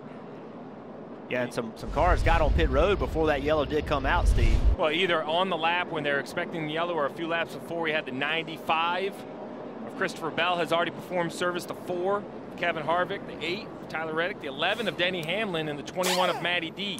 Those five cars have already pitted in this pit sequence all on a few different laps, but basically they'll only need one more stop from now to the end of the race where we're going to see, I think, the majority of cars come to pit road here who think they can win the race. Cars that are going to gamble for stage points will stay on the racetrack. And we're seeing it there. The split. How many coming to pit road with just under now it'll be three laps to go, Dillon. And Clint Bowyer will bring his Rush Truck Centers forward to the attention of the crew. They'll go around the wall, change right side tires. Clint's latest report just the car is not turning well in the slow corner, so they're going to try to make a right side chassis adjustment for tires and fuel, Dave.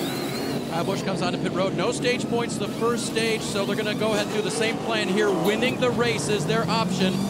Needs to get the power down better. They made an adjustment for that. As for Brad Keselowski, he gets four fresh Goodyears on the two car. A little vibration after his spin in the infield, but other than that, the two's fine. Byron holds the position coming off of pit road. A restart from the Roval is coming up next.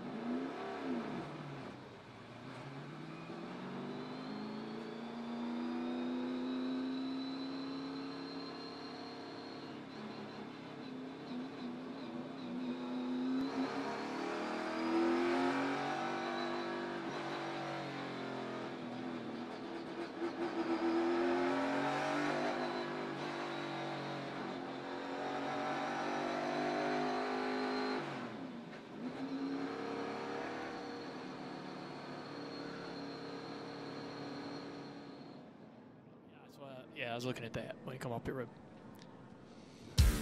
On November 6th and 7th, the world's best thoroughbreds compete in 14 exhilarating races at the Breeders' Cup World Championships. Learn more at breederscup.com slash 2020. Catch all the action live on NBC Sports. Today's aerial coverage brought to you by Geico. And once again, we're going to have a shootout at the end of a stage. Yeah, Jeff, you and I had this conversation. We thought, as Dave reported, the 18 pitting was an absolute commitment to a must win. But I'm actually a little surprised. He has some pretty decent track position, only in row five or six. I don't think it's out of the question that he could get up inside the top 10. He has fresh tires. We've had so much conversation about wet and dry. Now we're going to see what actual just fresh tires are worth. Alex Bowman in fourth place. He needs to get some stage points right here. That just continues to put more pressure on Kyle Busch of him having to win. And the field will have a two-lap shootout to end stage two. And not a good restart for Alex Bowman right there. Look at him going through Tom's Heartburn turn right here. Four wide. And they all make it through. Yeah, I just gave up two spots in that restart. A lot of checking up, everybody trying to get down in the bottom groove there. A lot of guys rolling the outside. That outside still has a little bit of moisture up there. Look at way back there. Kyle Busch having trouble. Kyle Busch way off the racetrack, way slow. Sounds like something's broken. I have a left front tire flat. If something's broken. Right still covered. Got big damage Yeah, there. Right here, last one, clear. Left front tire is definitely Last down. year, left front flat, sway bar. Sure it'll be gone when I get there. And you hear the disgust in his voice. This could do it. This could eliminate the defending Cup Series champion. He's going to try to ease it all the way around the racetrack.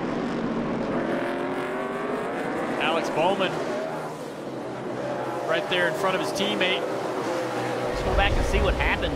Kyle Busch. So they all got checked up down here in turn three. Bowyer went by, maybe a little Three contact wide. there. Bowyer doesn't know. So there's contact right there. I think he might have already had a flat from contact before that. Possibly right here. Oh, yeah. I think it might have already been flat. From back in turn three, there might have been some contact. All right, we had nothing of luck. Absolutely. Dave. So Kyle will be coming to pit road now three times in his career. He's been able to face elimination in the playoffs and make it through, but he was never as far behind as he is today, and this is going to put him even further behind. They'll get left side tires changed on that race car and send him back out as Blaney continues to lead. So now you see the points on the left-hand side. You guys mentioned the 88, now plus 44. His big concern with Kyle's issue is just a, a, a winner. Can the 14, oh, it the 11 spins right in front of the 14 who I was referencing. Hold line's coming. He's on Hold your brake. Yeah, he's on the banking right now. So he's really got to hold that brake or it'll slide right down in front of everybody. Yeah, driver's side there as they were exiting the infield part of the course there. Alex Bowman is looking in the mirror, has his teammate, William Byron. Best thing you can see in the mirror of your car as you come to the finish of the stage. Some insulation from the, from the field behind you. So Ryan Blaney out front as he comes through the chicane for the final time in stage two. He'll win stage two from the Roval. Fourth stage win of the year for Ryan Blaney.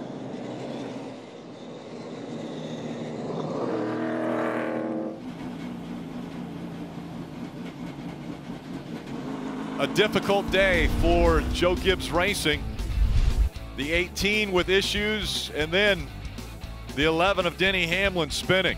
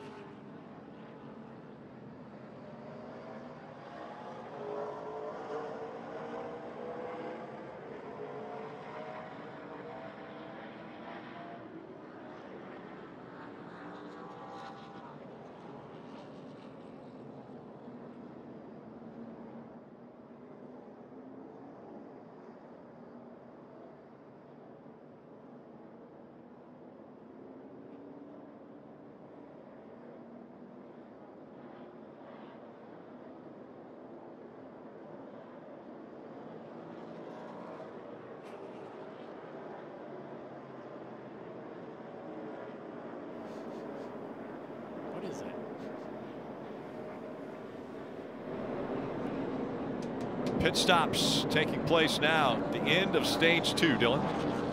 Martin Truex Jr. will hit his pit stall. Crew Chief James Small said we did exactly what we needed to do there from a points perspective.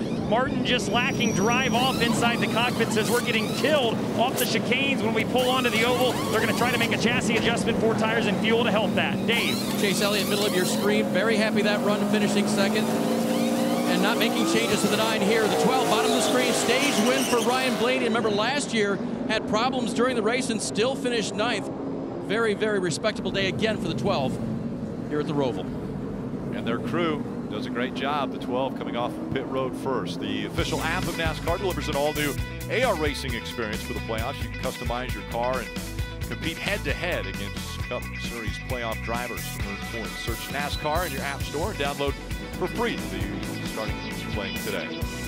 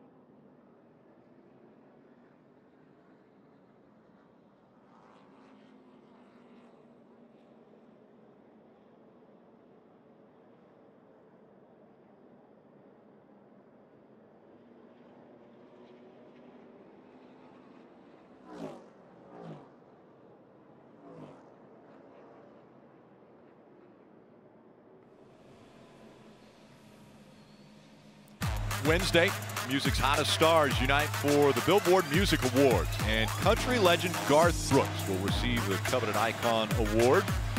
Kelly Clarkson hosts the Billboard Music Awards. That's live Wednesday on NBC. And a few cars stayed out on the racetrack. That means Christopher Bell, William Byron, Tyler Reddick, uh, they will be restarting up front here at the Roval at Charlotte Motor Speedway getting ready for the final stage of the Bank of America Roval 400. Rutledge. Rick, when we throw cautions in NASCAR, they are full course cautions, but in a lot of other racing series, particularly that race on road courses, they have what are called local cautions, meaning there might just be a caution right here, and that person waving the flag over there is a corner worker. These people are amazing. They volunteer at tracks all across the U.S. because they love to be up close and personal. Now, this person's job is to warn drivers of danger that can be around this corner. So when Brad Keselowski, as Dale Jr. put it, parallel parked the car right here in front of the big screen, that corner worker was waving the flag, trying to let drivers know there is trouble around this turn. And these track workers are amazing, but at a lot of these blind turns, that's who you see waving that blue flag if you're wondering at home. Thank you, Rudd. A lot of hard workers all the way around at this racetrack. And yeah, thumbs up. Great job. Let's listen in to Clint Bowyer's radio. It's wheel to wheel and whole right front shields and I don't know. Fine. Just damn it. Ten four, Brad. We'll be fine here. We'll be just back. I'll run to the end. Yeah, Clint Bowyer, we saw he and Kyle Busch make contact. He was very concerned about the right front. I didn't think it looked that bad, but here he is on the outside. Busch right there, they make contact, but he'd already gotten into the right front. That was what he was mostly concerned about. Yeah, from behind the wheel, it must have felt worse. I don't see a lot of damage. I don't know if the steering wheel's off, uh, you know, as far as not straight anymore. But, you know, sitting in the sixth position in a must-win situation, 57 laps to go, I mean, he's still completely in this thing. And that has to put a little bit of nerves between the 22 and the 88 because they're battling for the seventh and eighth spot. I say that because if the 14 wins, that kind of moves that cut line, Rick. So you don't want to be the last guy in on points. There's the last car getting through the Trilogy chicane on the backstretch here at the Charlotte Roval. I think if they had any real problems, they'd have came to pit road to work on it. Just got to fire that driver up. Tell him, man, this car is good. It's going to have speed. Nine's on the apron. I'm not sure if he's coming to pit road here or what he is doing. Interesting. Heavily committed to the apron. I believe you're right, Steve. He's going to come to pit road here. I don't know. Yeah, something must be amiss.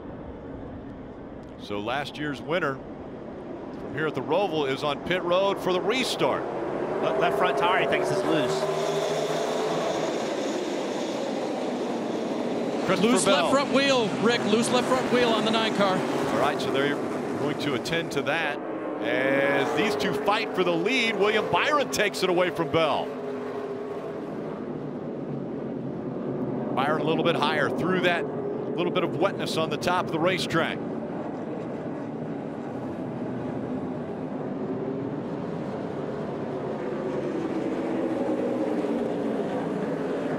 Once again, we're seeing non-playoff drivers excelling here at the Charlotte Roval. William Byron, Christopher Oh, Bell, we got a car around. Over here off turn six. Cole Denny Custer. Hamlin's in the grass. Cole Custer in the 40 Sliding lowest down the hill. Yep, there's the 11 once again off track. 13 of Ty Dillon also with an issue, and Joey Logano. Looks like he might have even caught a little bit of the wall there trying to avoid the 13. And that was on the exit of eight. They had problems. A Little tire rub on the 21 car, Matt DiBenedetto. Left front tire, it's got some damage. You're not sure right there. If I couldn't tell if it was contact with Cole Custer or not on that replay. So Hamlin's back on the track. Green flag still in the air. There you see Hamlin sliding into the picture. He gets off track. Maybe a little help there from the 53 of James Davison. Matt DiBenedetto coming to pit road to try to get repairs done to this car. Oh, yes. And you see the damage to the front end of that 53. So Matt DiBenedetto in the lower right corner of your screen, you see on pit road, tires being changed for him. Denny Hamlin already advancing into the next round after his win at Talladega last week.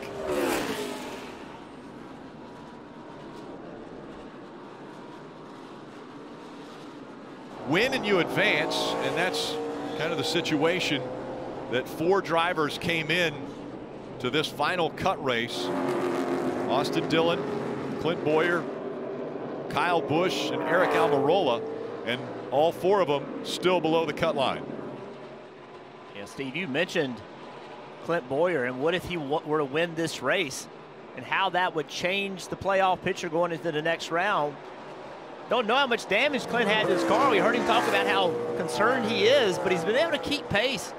Been able to gain a spot or two on this restart and has really put a lot of pressure on Brad Kay. Had one back corner in the infield and lost some, some ground on him, but his car looks okay right here.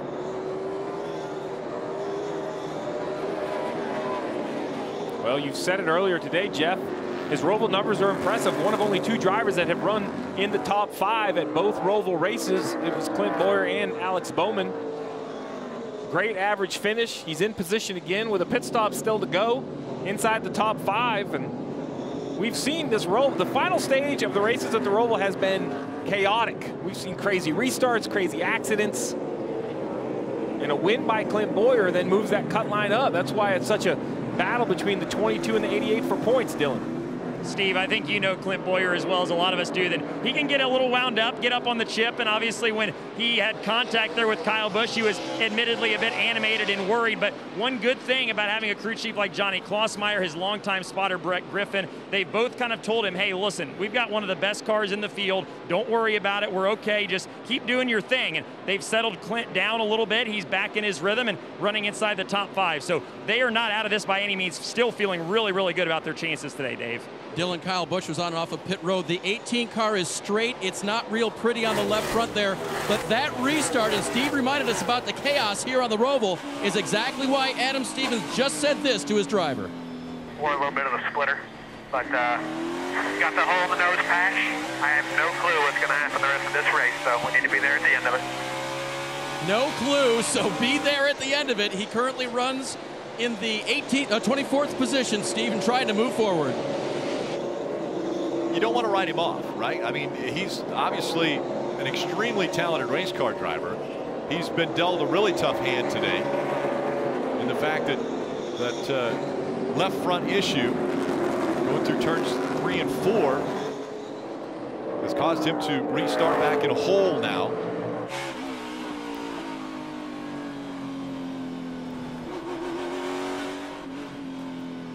Cole Custer's brought his car to pit road for tires.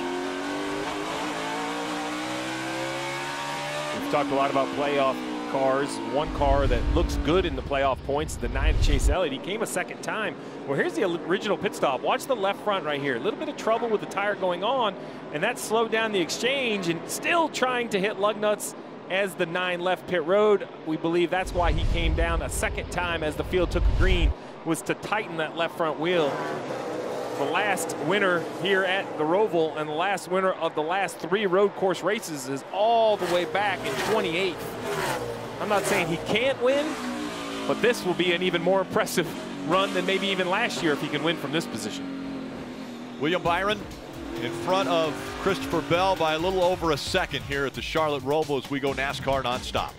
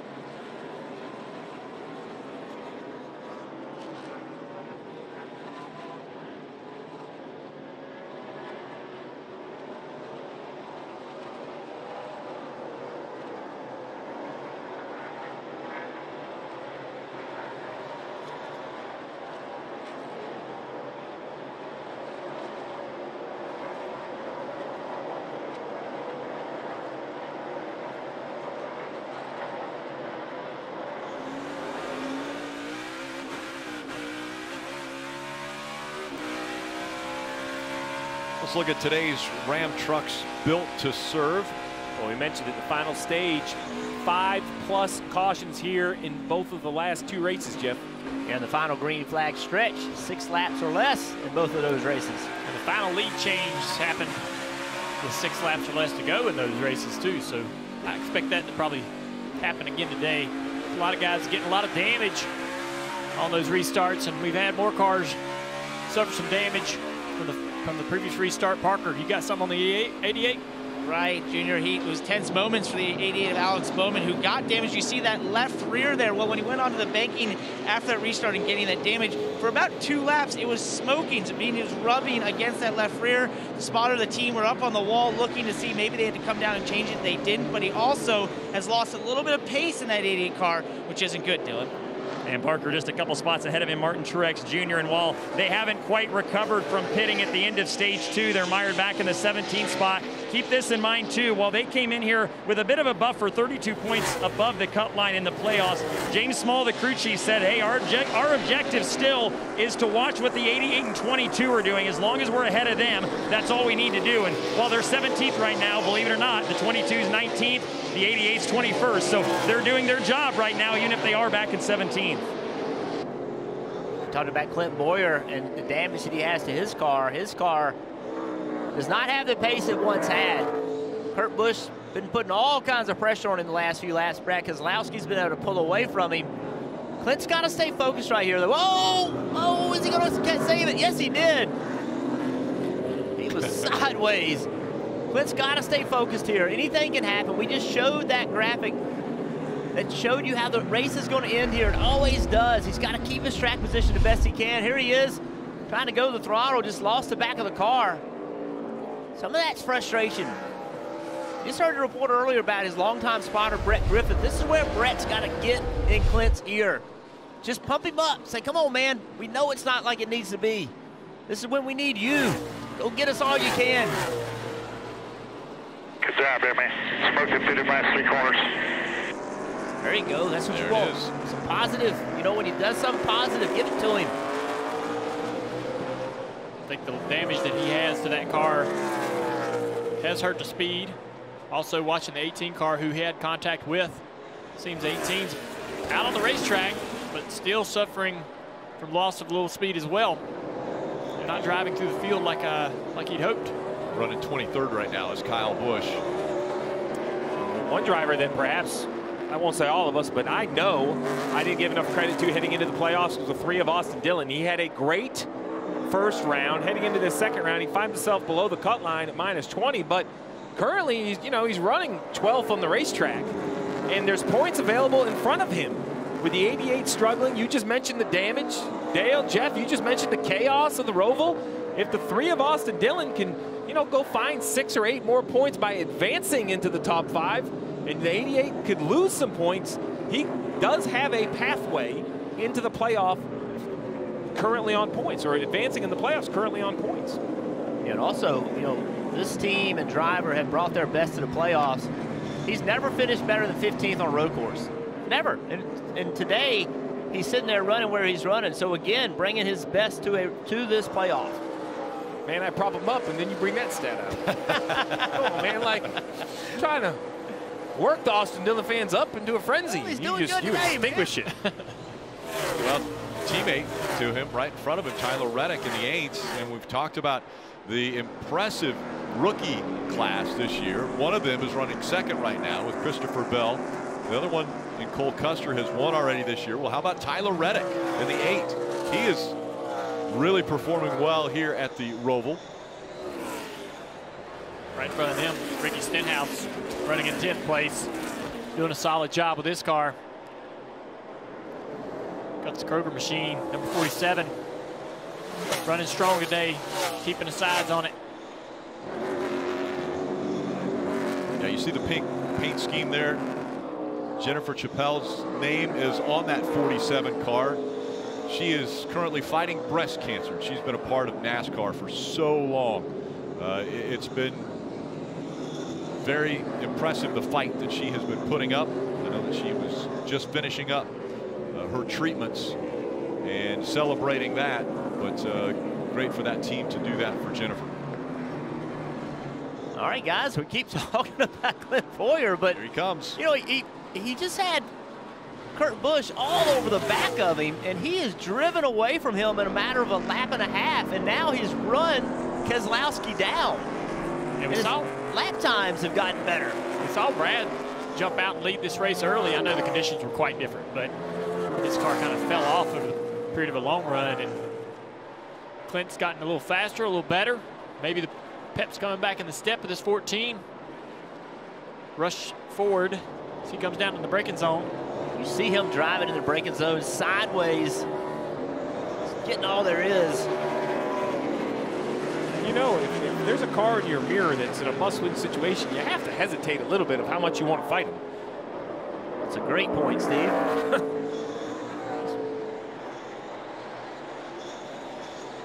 Dave. Steve Oh, is Brad's exact- way offline here. Yes, he is, but he's exactly right about that. They have been talking the points lock-in point for the two car quite a bit this race. Right now, as they run, he's 50 above the line. They just want to know, you know, Brad wants to know. He's been asking, hey, when are we locked in? Certain things have to happen to make that happen, but you're right. He doesn't want to face the 14 trying to run through him. He gave him a chance to get by there by the little slip up.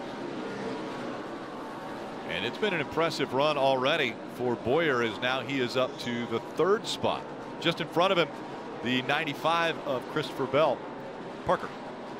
Well, guys, let's take a look at our Toyota driver update, which is about Christopher Bell, the highest running Toyota right now. What a great run from him, up 31 positions from where he started. But, you know, when Christopher Bell came into NASCAR, he had zero road course experience. He was very apprehensive going to the road courses in Xfinity, but he methodically Oh, we got a worked car on it, got the, better. We got Oh. a car in the barrier over here. Uh-oh. I think it's Ty Dillon off the racetrack, spinning around over in turn six. Yeah, he's Slowly off got grass off the again. race. Yeah, he got off the racetrack real easily. Lightly hit the barrier. We're in the grass. Yep, definitely in the grass. He's trying to back down the hill now. Trying to And find the somewhere. caution has come out, so there will be another restart. He's going to get back here. To here. that other track. Keep backing up. Keep backing up. Keep backing up. Keep backing up. Keep backing up if you can. Yeah, this is the unused portion of the road course here that he's currently on. Be able to get some traction and get going there.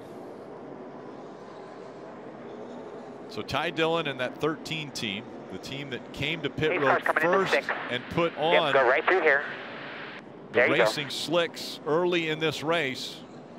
Showed great promise, got out front, was able to lead laps, win stage one, and now off track and back here in the 33rd position after working his way through the grass. But now a restart. So William Byron, Christopher Bell, they are one and two.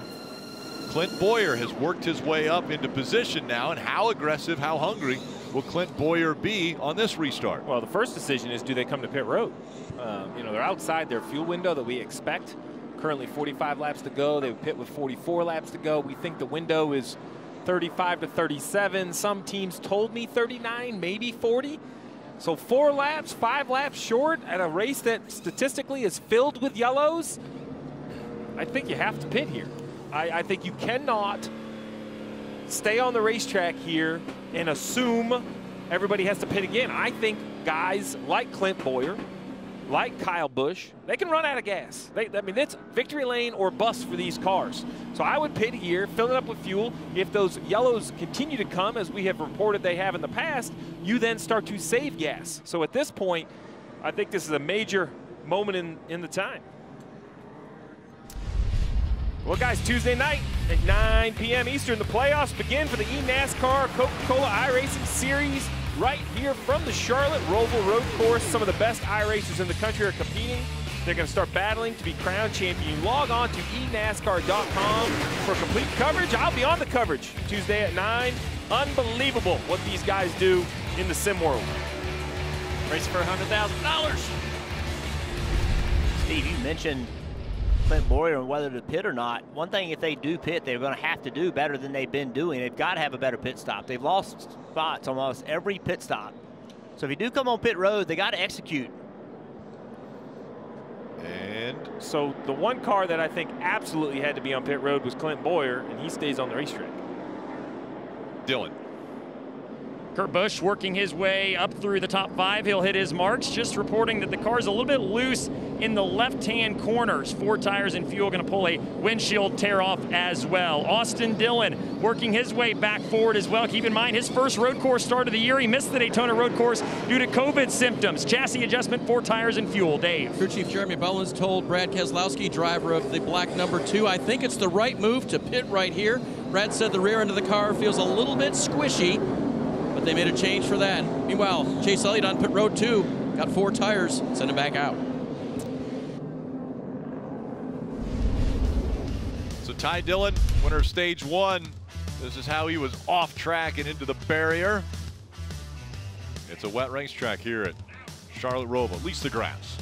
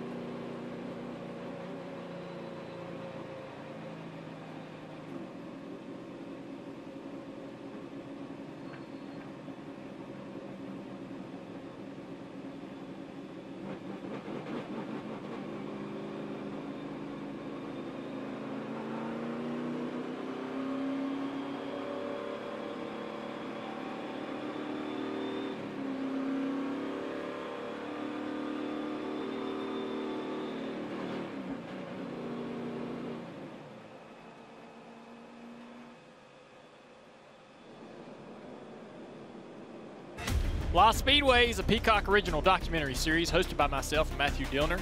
We go all over the country looking for these lost racetracks in all the communities across the country and what they meant to those communities. We uncover some amazing stories. All episodes streaming for free. Sign up at peacocktv.com. And Peacock is now available on Roku. I am a customer. Great service.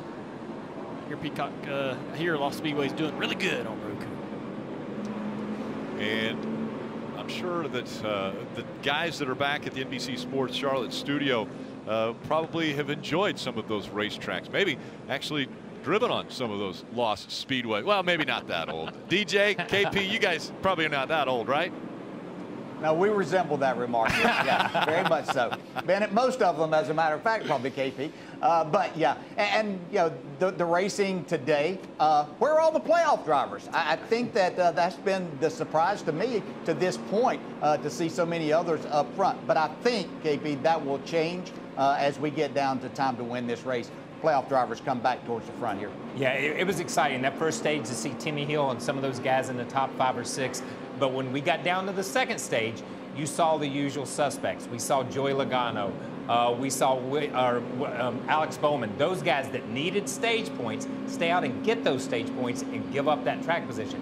Stage points were critical for those guys to move forward. So uh, it's been pretty exciting. The aggression got a little more when the track dried out. These guys know how to drive on a, on a dry track. And I can't wait. Obviously, you guys will be busy for the NASCAR America post-race show uh, right after this race on NBCSN. Breaking it down as we'll look forward to the round of eights and those that get eliminated out of this round of 12. Dylan. Rick, we were talking about maybe expecting Clint Bowyer to come down on that section of pit road, but they were about 10 laps short on fuel. So Johnny Klausmeier said, let's keep our track position. I don't think we're going to be able to save that much, even if we do get some yellow. So they opted to stay out here, just keep their track position, but obviously going to have to come down again. But will the cautions or will the race cycle into their favor? That remains to be seen, Dave in the favor of the nine was the fact that they pitted. They had the option not to, but you certainly don't know what the tires looked like till you pull them off of the race car. When they pulled all four off, put them behind pit wall, they said, uh, Chase, kind of glad we pitted. We had a right front delaminating. Not sure what you can do to control that. Wasn't your fault to begin with. Just be aware. lucky break for the nine for sure. And that 14, you know, I thought they had to come to pit road and risk it. Now 10 laps is, is definitely the worst fuel mileage that I've heard from anybody on pit road. So they obviously know their number. This is their best chance. I just feel when you look at the guys at the left that pitted at 65, even if they do come again, they're going to have a much shorter stop, Rick, if they do choose. But I think some guys are going to gamble. 42 laps remaining in this race. Do you think we will see rain again? As the radar, it's starting, the clouds are kind of coming back in. The radar shows the possibility. Getting ready for the restart. Christopher Bell, William Byron is on the outside, race leader.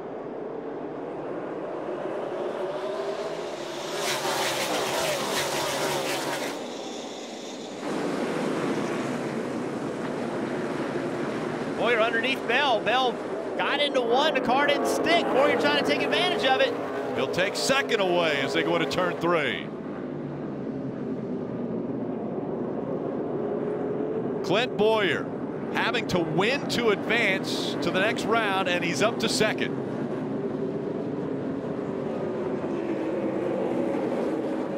There's a lot of pressure coming your way, William Byron. There's a guy behind you that needs a win.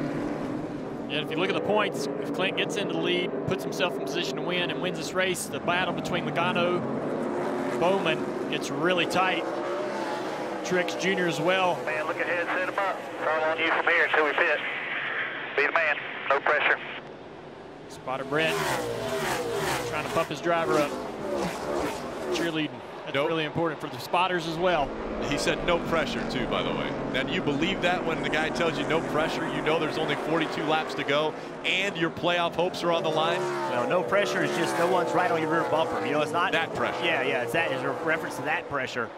Just Christopher Bell is not right on him. What that is telling you is you don't even have to look in the mirror. Just pay attention to what's in front of you. William Byron has decided that the smaller he can make Clint look in the mirror, the better off he is. He's driven off from him. And Christopher Bell staying right with that 14. Also, look at the 48. Jimmie Johnson up here. As I look down by the pit road and the pit boxes, there's a giant sign that says, Thank you, Jimmie. 48, 12 wins at this racetrack. And right now, Jimmie Johnson also looking for a win here in his final full time season in NASCAR. Yeah, Ryan Blaney's going to be able to get the run on him down here into turn five. Jimmie's going to give that spot up as they head to turn six. Up the hill now, Jimmie's got some company with the one car, Kurt Busch, right on his bumper. Down into the left-hander seven. Turn eight here. Back up onto the old NASCAR oval. Kurt's had a great car today. Good speed in that one. Maybe a sleeper uh, for the championship title this year. Already advanced with a big win to start this round. So he'll be in the round of eight with Denny Hamlin. Of course, Harvick with points has advanced, locked his spot in. Chase Elliott at 62 points really is pretty much a guarantee to advance. I mentioned Here's Chase back here. Yeah, I was going to say that's who I was going to bring up, Dale. I mentioned that the nine they had a tall order to try to win from the back after that loose wheel he had to pit it extra time for, but he came to pit road this time, and that nine car is up through the field. Is now we have a yellow. Oh, the three of Austin Dillon. Man, he got spun into, or I guess past. Yeah, before they were getting into the chicane. Yeah, it looks like they've tire marks, judging by the tire marks, made a little bit of contact with the outside wall. We had damage. We confirm damage. All right, Steve, you mentioned some cautions as you see the damage to the left front there of the three of Austin Dillon. Again, another driver that's below that cutoff line. Yeah, Rick, I'm sorry to interrupt you. I was just thinking the bigger damage I see is it doesn't seem to want to get put in gear or won't roll. Let's watch right here. Kyle clips the right rear quarter panel, turns it into the outside wall. Keep going, all good. Let's see right here. No, I mean, not the heaviest damage, but I wonder if it broke something out. So we're waiting to see if. I think he just blew all the tires out. Yeah, he is He's- moving now. Yeah, he's moving now, and he can't get to even get to pit road. He's pulled his car over. Yeah, no interliners here at the road course. So when a tire goes flat, you are on the rim. That's two drivers right there that were below the cut line that that incident happens between the 18 and the 3. Their names in red. It looked like what four lug nuts tight looked like. That's what it looks like. If this was 1989, the three team would be out there changing the tires. Should have run right across the turf. Yeah, the Flying Aces would be out there. With the jack in hand. So Austin ha- does have an opportunity to maybe, I don't know where he's pitted. He's pitted on the back side of the start-finish line, so he would have to, if he comes on pit road, he'd have to go backwards down pit road to get to his pit stall. This is a difficult situation. Surely can't push him all the way around a racetrack. No. Oh. AMR's checking him out. Hang a left. Maybe they're telling him he can turn left through the quarter mile. Remember, though, also that that's turf. So it's not the grass. But it's dirt beautiful grass. turf. We It don't want to beautiful. dig it all up, pushing a wrecked car across it. Dude, It wouldn't dig it up, man. That stuff's glued down. turf. And so I believe they are going to try to make the hard left turn right here and stay on the quarter mile. Rick's wedge could tear it up. It it would definitely be sporadic, that's for sure. We'll be back with more from Charlotte.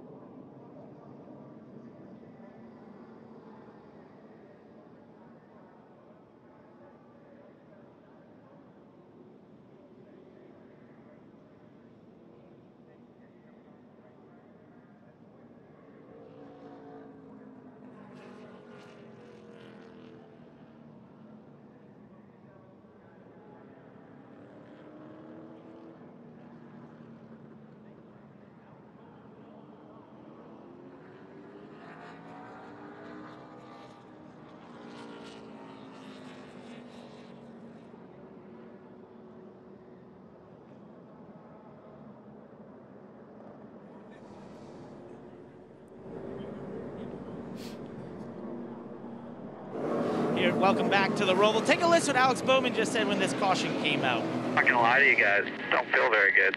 You don't? No, I'm like about to start throwing up. It's all good though. Be all right. Yeah, that's usually about the time we get good. So we got uh, 40 to go right now. You'll be fine. Yeah. Welcome to anxiety me. On the cut line, I can tell him though, he would get some good news. He's 30 points to the good as we see the leaders all coming down pit road, including Chris Bell out of the top three there. The team came on the radio just before this and told him, You're as good as that 24 car. If we can get ahead of them, we can hold them off.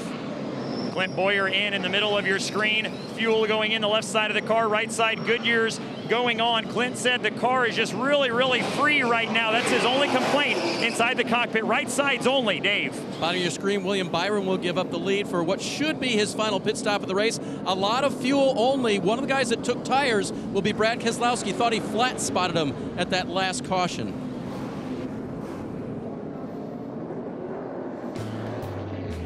See Kurt Busch grabbing a couple spots there, winning the race off of pit road. Win and you advance. That's really what Clint Bowyer is facing right now. He's got to get to victory lane.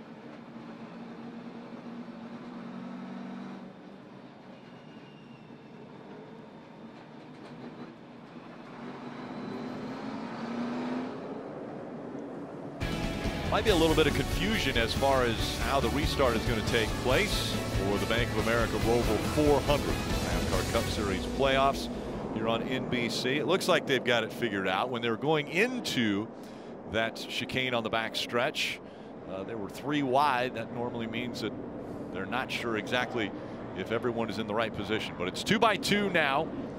And out front, Ryan Blaney. Yeah, look Ricky at Clint- Stenhouse Jr. here in the front row. Look at Clint Bowyer way back there in 18th, came in second. Everybody that did pit only put fuel in, lost all those spots. into the restart zone, and Blaney fires out of there. Right behind him, Ryan Preece in the 37 with a great restart. And tagged! The 47 goes around. Ricky Stenhouse Jr. got hit by Bubba Wallace. Stay right there. Stay right there. Hold on. Hold on. There's a lot of contact heading down into turn one from various cars.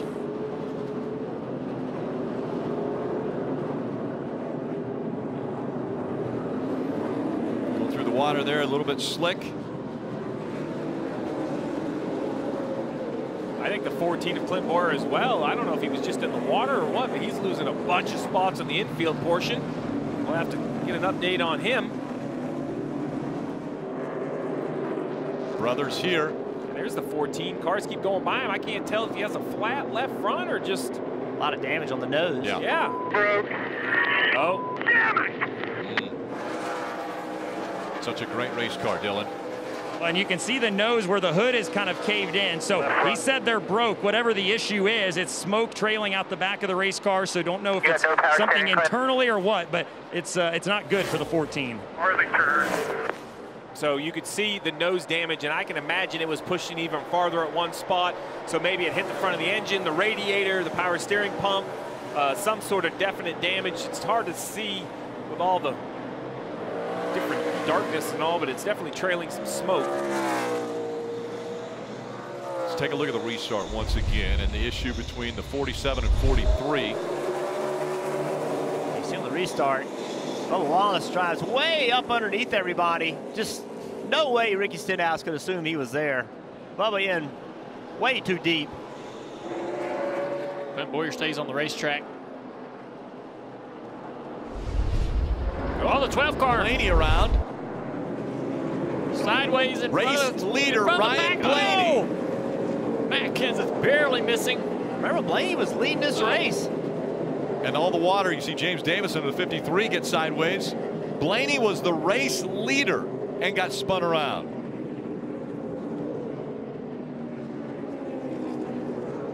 Just gets wide off the racetrack into the water here. Big trouble in. Well, then he pushed a lot of water back out onto the racetrack. And he was trying Close to, call here. Oh, man. He was trying to stay in the gas to keep from getting stuck.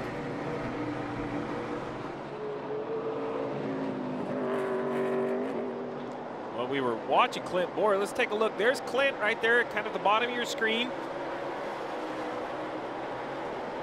Oh, they just get stacked up when the 47 spins out and he hits the back of the two car.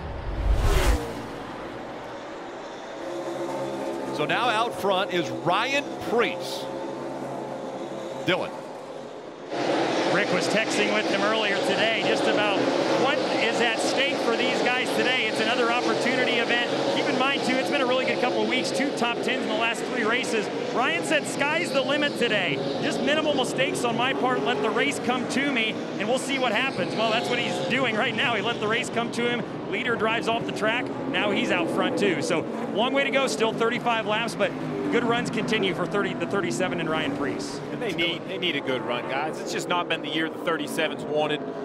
Uh, we saw the 47 up there earlier, so apparently the JTG, some pretty good road course cars as we see Ryan Blaney come to pit road after that trip through the mud. Well, Ryan Preece has finished top 10 in two of the last three races of this season, so they've been doing well lately. A really tough start of the year, but they've started to put it together. Cabo's trying to work his way through the pack here. Just got by Bubba Wallace. This is, he has some new damage as well, Scorton. M&M's number 18 car down in the corner pushing his teammate. A Little damage to the nose. I think he's going to be okay, though. And the 12 of Ryan Blaney. He just got penalized for too fast exiting after that spin and coming to pit road. And I heard Alex Bowman say he wasn't feeling well. You know what makes a driver feel the best he can possibly feel? He's getting the lead, leading the race.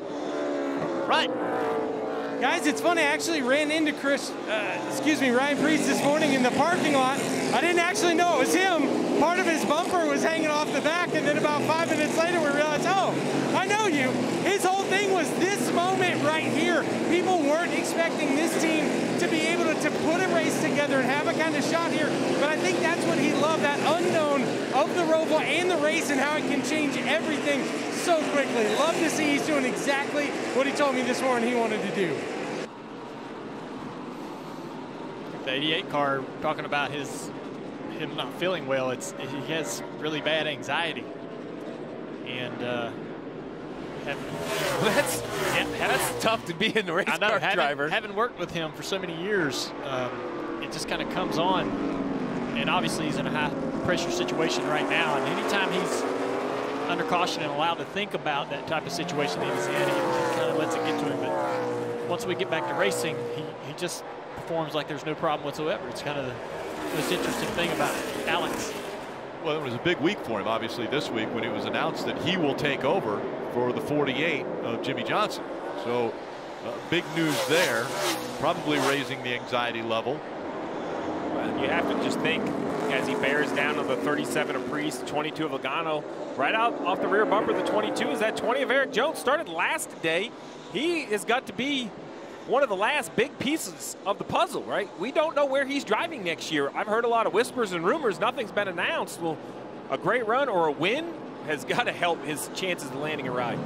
Yeah, Chase Briscoe in the Xfinity Series says every race is an audition for me. That's really what Erik Jones is doing. He's auditioning for these these team owners every race, trying to put his best foot forward. And there's some reports from the 20 that they're having some temperature issues. You see the damage above the word Camry, the nose pushed down. It usually cools below that, but that area pushed down could have collapsed the ductwork or the area in which the air travels into the radiator. I think air is getting in the nose. The question is, is it getting all the way to the radiator? We'll have to see if they can continue. The ductwork is unsealed underneath. The grill looks fine from the outside. Yeah, there you go. That update, give you one with Clint Bowyer. He still continues around the racetrack, so he was talking about broken power steering, correct? And you would think, okay, are the belts thrown off the car? Or is he going to have a motor issue? It looks like there's no temp issues with the car, that the belts are intact. And they may be able to, if they get lucky here, get a yellow, come to pit road and try to get the power steering repaired. He continues on the racetrack, hoping for that caution to come out. So under 32 laps to go. Out front right now is Ryan Preece, a driver who his best career road course finish is 21st here last year. But a lot of pressure from the 88, Alex Bowman. taking a peek just to the inside there of Preece. Can't make the move. I feel like Alex is a little bit quicker right now, putting a lot of pressure on Preece. Alex wanting a solid day in the point, so he's got to be careful not to push the issue too much, get himself in an accident. Yeah, I think if he was in a muscle situation, he would have definitely tried to make a pass there going into turn five, but he's taking his time here trying to get the proper run on this 37 car of Preece. Yeah, this is a good opportunity for him right here. He's got positive momentum going into the into this chicane. Can he outbrake Preece? Doesn't even poke his nose out to show it to him. he's very conservative. Don't get too conservative though. Back there's Logano. We know he won't be. Well, Logano's kind of in the same situation points-wise as well, to, to where he can't take too many risks either. He has to keep that Pennzoil machine on the racetrack in the top five for a It's going to be hard to believe, day. but the 18 car just ran his fastest lap of the race. Junior back there in sixth. So even with all the damage on this 18, we saw a flat tire in the left front. This lead group has stacked them up. The 37, to your point, Jeff, is definitely not as fast as these guys. And the inability of the 88 to go by has stacked up the leaders. That's great for Kyle Busch because he's not letting the leaders get away from him as he's going to have to try to pick through these guys. I imagine his teammate that he gets to first in the 20 car here, Erik Jones, probably won't race him too hard. And it allows him to close in further on the next few guys to try to get up there and take the lead of this race. Get into the next round of the playoffs. The 37 is good where it matters, which is into the straightaways where the braking zones and passing zones are. But if he looks in the mirror and he sees more and more and more cars, Can't feel good gonna- about that, Yeah, right? he's going to start pushing himself further into the braking zone, start making those mistakes. Leave the door open for Alex Bowman to get by. There's the gap, the top six. All right there on your screen. See the M&M Toyota go to the inside of his teammate here. Erik's going to get out of the way. Kyle Busch moves up to fifth. So the top five has four playoff drivers and race leader Ryan Preece. Alex is in a good position here. Try something in the braking zone if he wants to. Alex just being really safe. He is, but yeah, what, what, what point do you have to start to try to go ahead and take this position? Because he's obviously faster and he's got to be able to get information from behind that the 18 car is coming. Ryan Preece has the 80 of Alex Bowman all over him. If the pass is made, you're not going to miss a thing. It's NASCAR nonstop.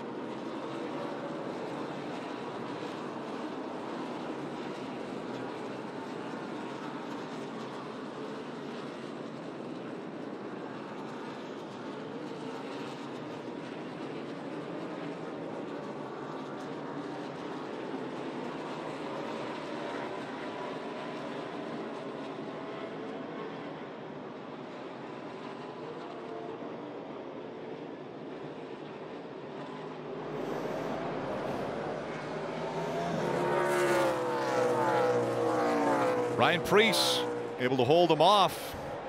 Still three tenths of a second gap between the top two. Alex Bowman continues to fight even with a little bit of a damaged car. Alex has got some company though. That Napa Chevrolet Chase Elliott's closed in. Chase has gotten around Joey Logano. How hard will that teammate of Alex's push him? Alex can get right up close to Preece. Oh, oh, Preece had a little issue there. And for the lead, how hard does Alex push it? They're side by side. Bowman trying to take the top spot away. He will. Chase could have went three wide there. He cut his teammate a break. Down to turn six. Alex is offline. Chase to the inside. Alex has a preferred line here down in turn seven. In turn eight, he'll be on the inside. Chase is going to stay on the outside here and fight hard. They're lucky the line behind them is side by side, or that would have slowed them up enough where they could have made, got a big run on them. Let's see if Kyle Busch can take advantage of that. Where's Kyle going to go? He's going to go with Joey? Try to outbrake both of them. Go three wide here. Kyle Busch is not out of this, guys. Win and you advance. And there's still 28 laps to go.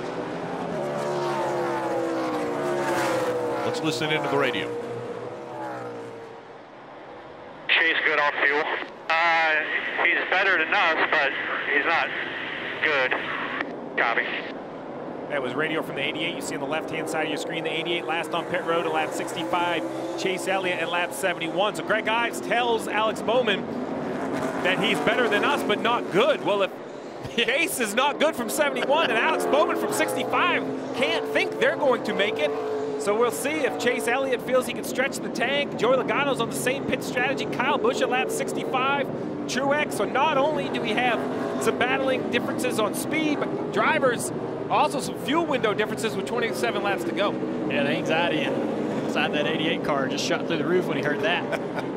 well, if you're Chase Elliott, you know, it's your job now to push. Push as hard as you can, right? You have six laps to the good. Push the pace. Make everybody run harder than they want to run to burn more fuel. Chase is just so dominant on the short on the road courses over the last couple of years. Not the guy you want to see in your mirror, even if he is your teammate.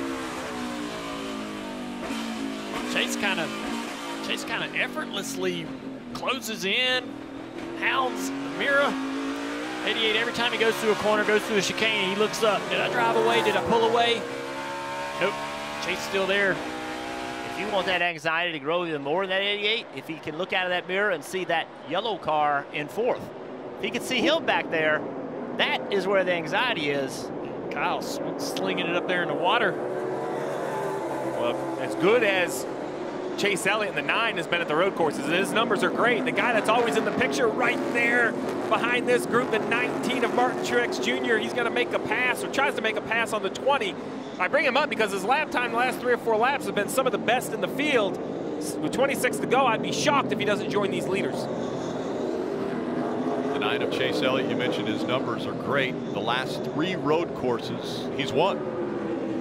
And so looking to stay perfect. Oh! And around the 88 he goes. He'll take the lead here at Charlotte. I think Alex just had had enough of that pressure. Went wide there to allow the nine to go by. Alex is just trying to settle in to a comfortable pace. Doesn't have enough speed to hold off this nine car Chase Elliott. There you see it.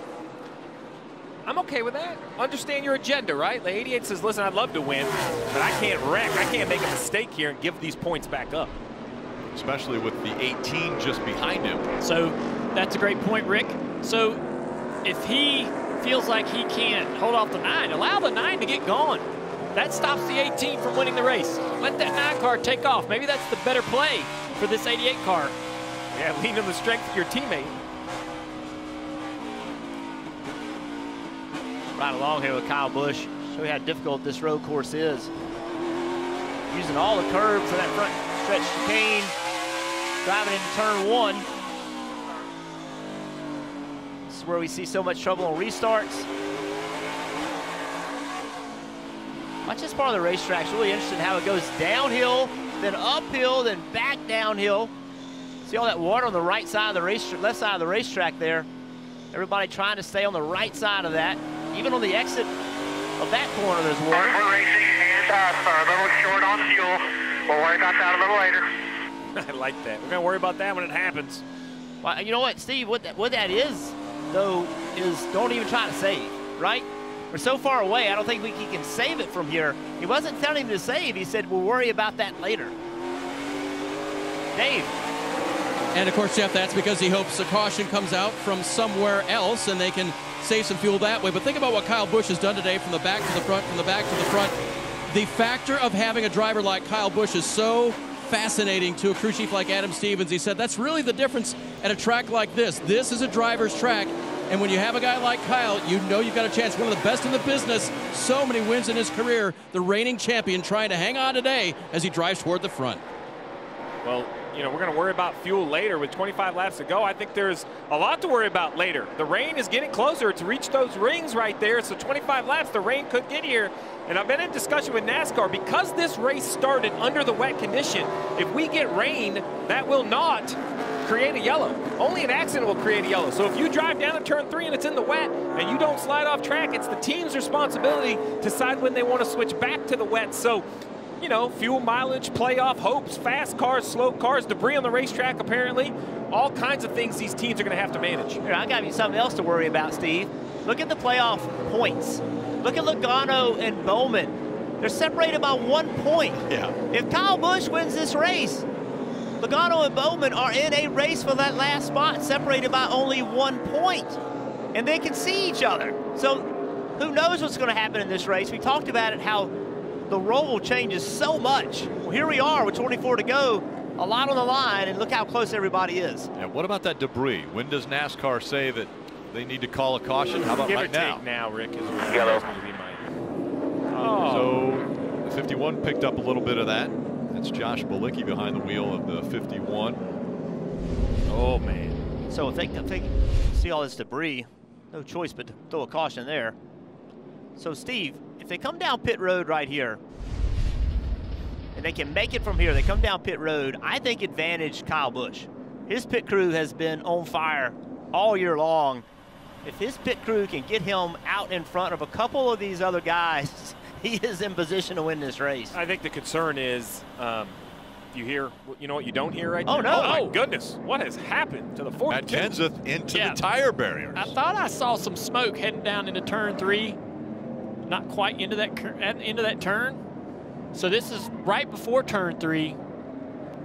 It's we're blocked from view because of those big Bank of America banners, but it was lots of smoke heading into that turn. So, Jeff, to circle back to your point, now that I see this as a crew chief, how long is this yellow going to be? How much fuel can I save?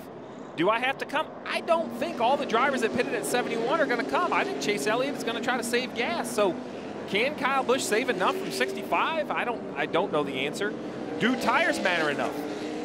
Will the rain get here? Rick, this really, you know. So there's a few questions. What could possibly go wrong? And does Kyle Busch have a choice? Can he win if he pits? I mean, he's in a must-win situation. Can he win if he pits? That I think is the answer. I think the 18 has to stay on the racetrack because currently with 23 to go, I think that is the pathway to a win.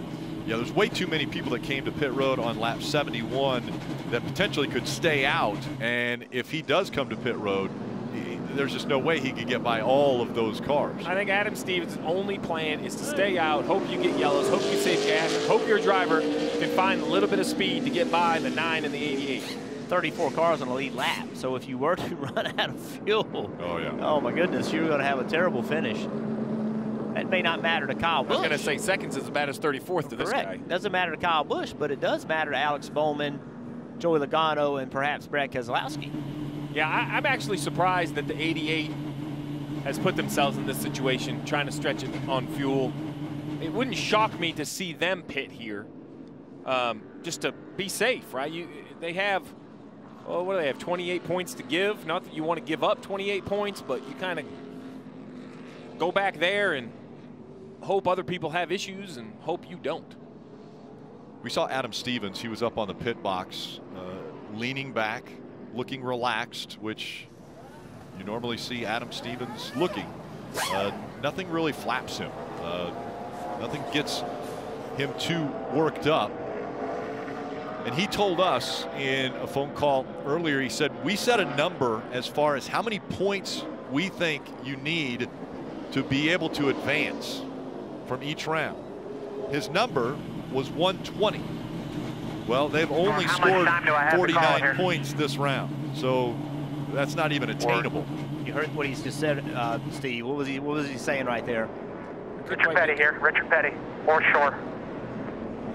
Oh, me and code words. We know how the code Richard Petty. Wonder what that means. I don't know. Hit seven times, get seven trophies. Stay out is what it means. Stay out.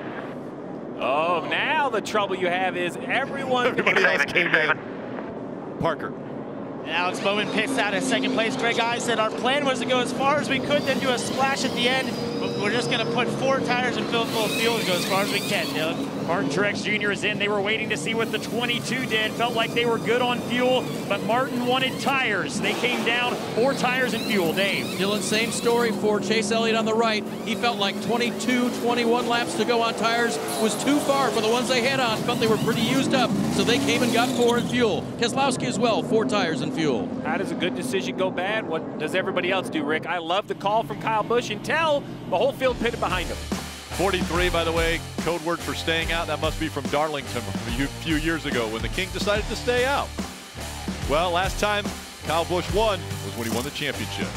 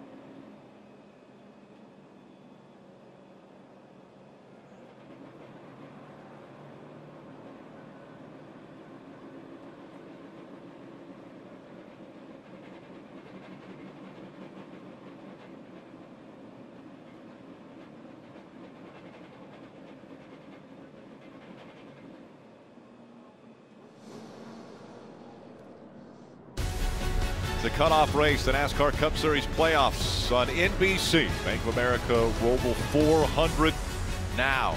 Just 21 laps remain. Aerial coverage brought to you by Geico as the field's continuing to serpentine their way around this Roval. And while they're doing that, before we get the green flag, let's go to run.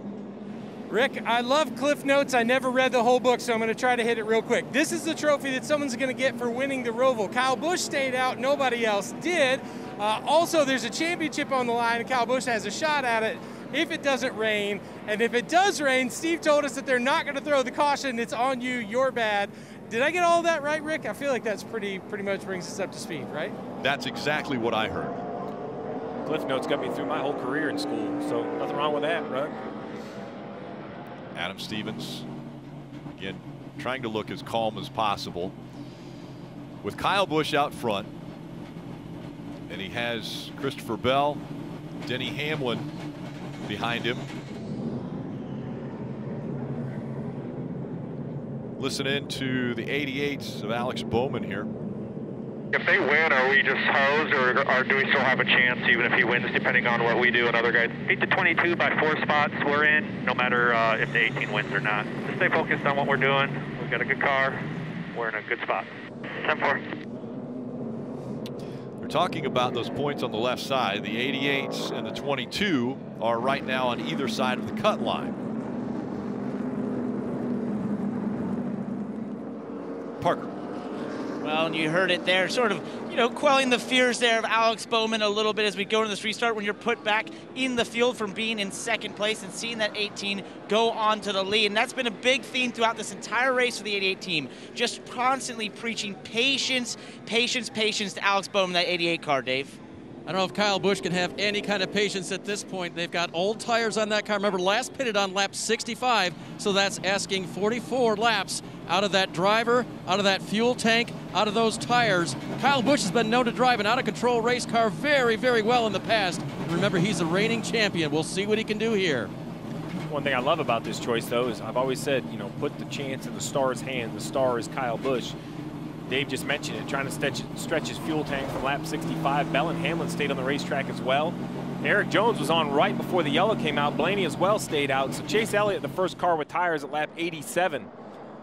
Um, but like I said, you know, I've said this before, as a crew chief, it was always my role to give the platform to the driver to show their skills. I think that's what Adam Stevens has done. Do they have the best car? No.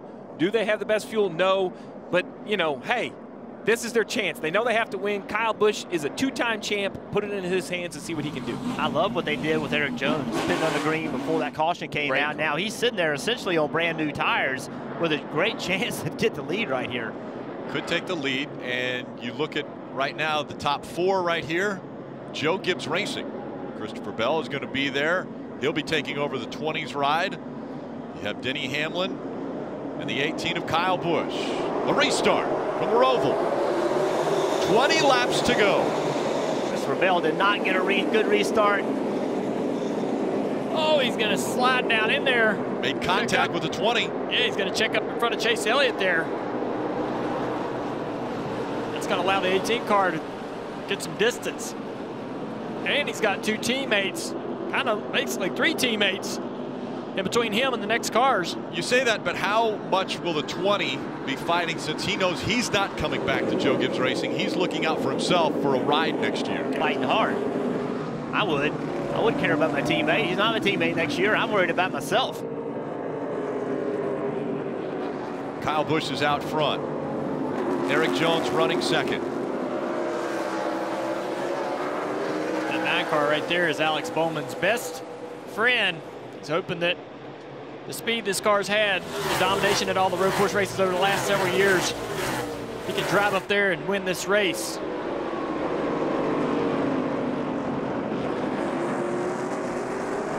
If Kyle Busch can keep Erik Jones behind him for a few laps, going to be really impressive. Erik with much better tires.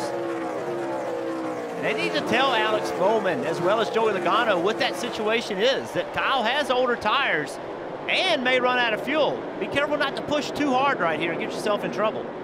Erik Jones really hammering the curbs through that chicane.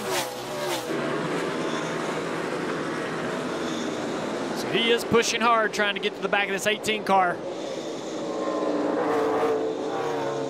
See how much better he is on that part of the racetrack. Where there's less grip, those new tires really helping him. He's right to the bumper of this 18 car now. Looking to the inside here.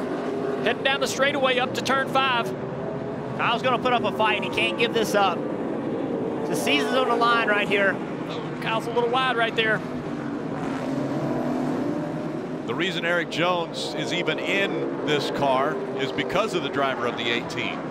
And the nine car is already to the back bumper of the 18 to the side now, to the inside for a pass for second place. Chase carving through this field. Erik Jones out front now. It was a snowball derby quite a few years ago where Erik Jones beat Kyle Busch in that race. And Kyle Busch said, you know what, this kid's talented. He needs to be behind the wheel of a stock car. And the next thing you know, he's running in the Cup Series and was a teammate to Kyle Busch. But he's looking for another ride come 2021. Alex Bowman, Alex Bowman and Joey Logano need to be told right now. Joey can see it, right? Joey can see what's going on, but that Kyle Busch no longer has the lead. Race smartly.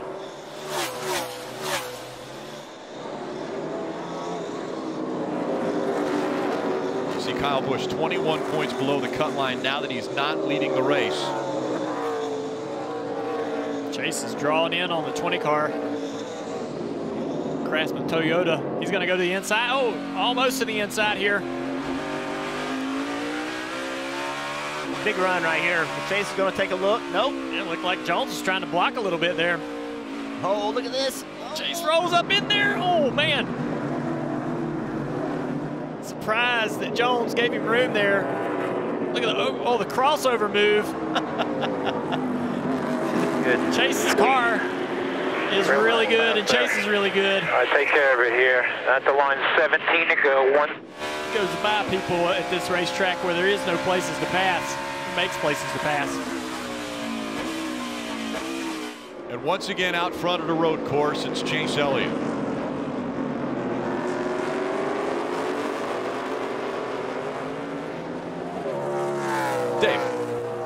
Rick, we've been talking about just how good Chase Elliott is on the road courses and just how good he is here at the Roval. How about Alan Gustafson understanding what he needs behind the wheel and building him a race car that can do this time in and time out? If he wins today, it'll be four in a row on the road courses. That will tie Jeff Gordon for the record of four in a row. JG, one of the best all time on the road courses, and Chase Elliott starting to look a lot that way.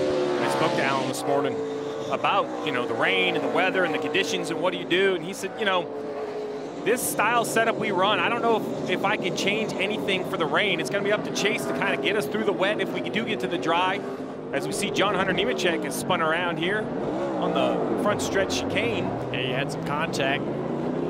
Yeah, Alan said that, you know, they're confident in their car. If the track dries up, he had no idea what to expect in the rain, but he wasn't going to worry about it. He put a little extra time in making sure the radios were protected. That's what he learned from the Xfinity Series race, that communication was perhaps the biggest issue. Shows that he knows what he's talking about and the confidence he has in his driver. Alan has continued to tell us risk versus reward. He plays that at every single track that they go to.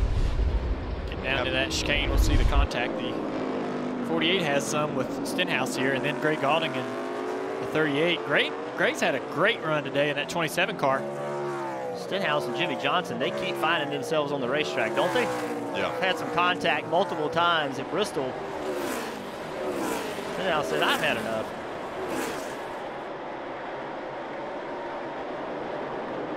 The issue right behind him.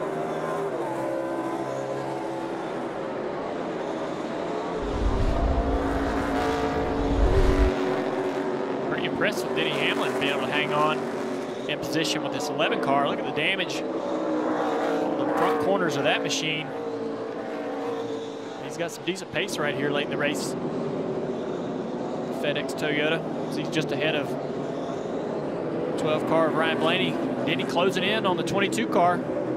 Joe Logano here. Joey's trying to get around this M&M's Toyota, the Kyle Busch. Kyle holding on with those older tires. I feel like Joey's being real patient right here. Wanting to make sure no contact. Don't want to make the driver of that car mad. Because you are in a vulnerable position if you do. Just give me a reason is what Kyle says. When you go by, just give me a reason. Got to be really clean with him.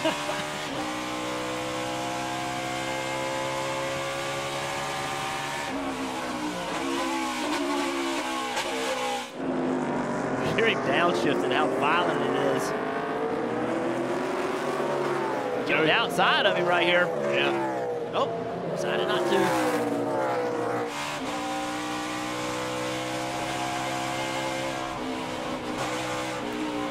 Joey's going to go to the inside here in the braking zone. And a very clean pass. I think everyone kind of holds their collective breath there when the 22 and the 18 are near each other.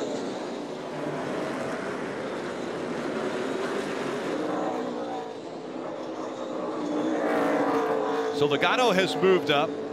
He's in fourth. Everyone's still chasing after Elliott out front. Let's take a look at the NASCAR here this restart. Contact right there with Christopher Bell. He tries the crossover move here. Easily gets by Jones for the lead. It is amazing. You said it, Junior, how he passes cars on this racetrack. He just looks like he's just in another world as far as the speed that he has. But, you know, it, he's the only Hendrick driver that can do it, right? All their cars are pretty good, but Chase Elliott's road course ability, it has gone through the roof. It's a pretty impressive company that Chase Elliott's a part of right now It can be on his own if he's able to get this win here to put it to four in a row. But he still has a little more to get up to Jeff Gordon, who put six of them together. Yeah, I was a part of those teams for Jeff Gordon. I'm telling you, you never walked into a racetrack with more confidence than when you went to the road course with Jeff. And talk about air pressure, springs, shocks, set up all you want. You knew you were going to be good. You see the little bit of smoke out of the 48 of Jimmie Johnson. He had just come to pit road. I was on the other side of that, Steve, racing against Jeff Gordon on road courses, and he never went into a racetrack with less confidence. Parker. Well, Jeff, a driver that might be having a lot of confidence as of late is Erik Jones. I know we've talked about his search for a job, but since missing the playoffs, they haven't finished outside the top eight. Aside from Richmond, they've been one of the best cars in the playoffs in average finish. Unfortunately, not really racing for much in that sense. But I talked, spoke to Chris Gayle, and said it's been a sense of pride for this team to be able to go out there and get those runs because each and every one of them is trying to prove what they can do. It's not just that driver behind the wheel, but that's that entire team trying to prove they are a championship caliber team as we head towards next year, Dillon. Parker right behind him in the one car is Kurt Busch continuing another strong road course run. Keep in mind they won Las Vegas, so came into today with no pressure. But Matt McCall said, hey, we still want to win. You can never have too many points. So that's been their motivation from the start of today. Keep in mind, too, next round of the playoffs, really, really good for them. Really strong on the mile and a half this year. Kurt's won at Martinsville as well, which ends the next round. So things are looking up. And as they continue to have another good run here, they're putting themselves in position to maybe sneak by and grab another victory here.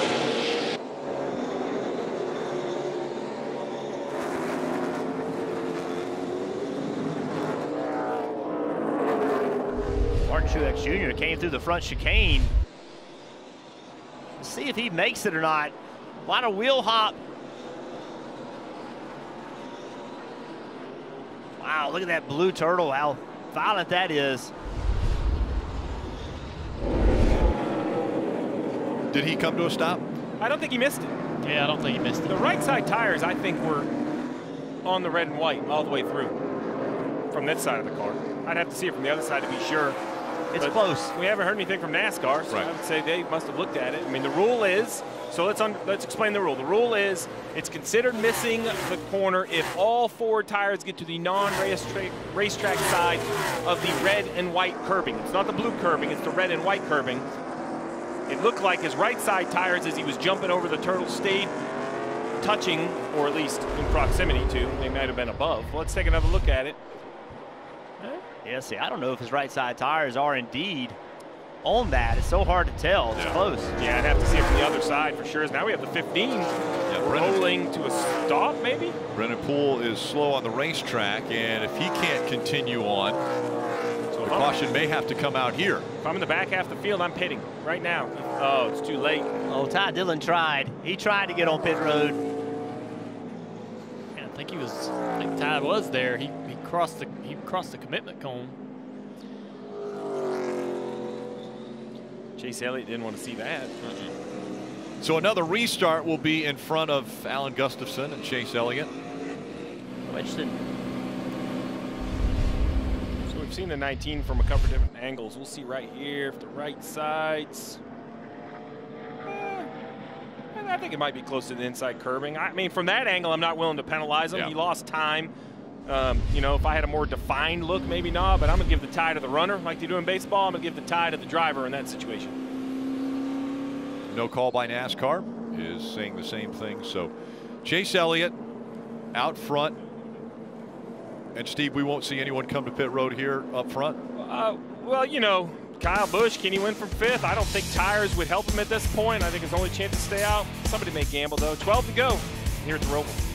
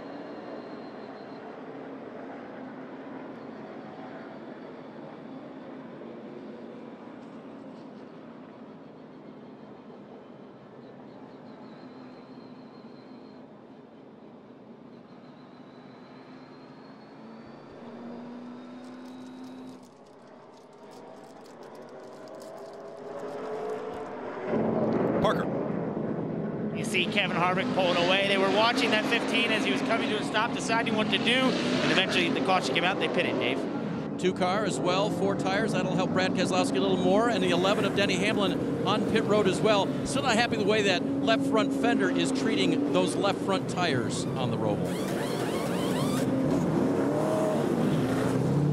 Well, Denny Hamlin, even with that damage, knows that next week he's still in the hunt for the championship, and it will be the first opportunity Kansas to lock up a spot in the championship four. That's next Sunday, 2:30 Eastern on NBC.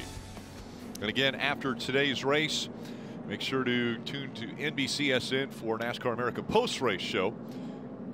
KP, DJ, Krista will take you through all of the exciting things that we have seen today. Uh, history being made started on rain tires here at the Roval. Uh, switched over. The earliest one to do that was Ty Dillon. It paid off for him until uh, they decided to pit a little bit earlier than uh, was expected. Pushed him back a little bit. Now it's Chase Elliott who is out front. Yeah, we talked about cars that tried to get on pit road, knowing Brennan Poole wasn't going to make it back, and there he is. You can see it's pit road is closed. Ty Dillon tried to get on, but he had already gotten on the other side of the commitment line, so pulling out right there is a commitment line violation, so he will have to start at the back. And you know, you mentioned Ty Dillon. Had what a good start to this race today. He was so fast early in the race. On rain tires, he was really quick. And then he lost their track position and was never able to get it back. Well, turn one, in the past we have seen cause problems. This is what it looked like. First year, Brad Keselowski drove it right in and everyone followed him. That's one of the strangest things I've ever seen in a racetrack. It's important to note that on these restarts last year, he just drove her down in. Big contact. Remember his comment after this happened? I can't believe I did that. Yeah, he was so embarrassed. He drove through the field. But remember, these cars are going faster entering turn one after a restart than any other time because they don't use the front straightaway chicane. That's why they misjudge it so badly. They're going to try it again. They'll head through Tums Heartburn turn, and once again, it's Chase Elliott that's out front.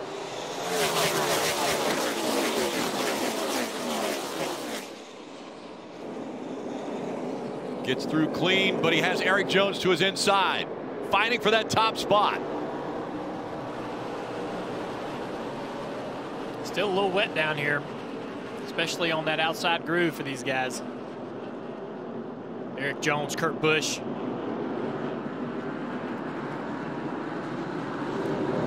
That's allowed Joey Logano to get into second place. His teammate Ryan Blaney trying to get on the inside of Jones here. Amazing recovery by Blaney. We saw him spinning through the mud earlier. Oh, he's a little loose right there. Menard's forward, gets a little sideways. Turns seven and eight. Kurt Busch in the Monster Chevrolet, he's done a really awesome job today. Great speed in this car. Battle for the fourth spot now as Kurt Busch looks to the inside. We'll see if he can outbrake that 12. He does uh, a little bit of tire lock up there. He pays a little price there. Smoking the right front tire. Really good pass. Blaney's had a lot of speed today.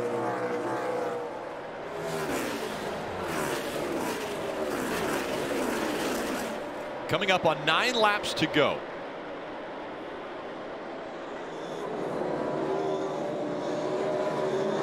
Blaney running in the fifth position, chasing after that one of Kurt Busch.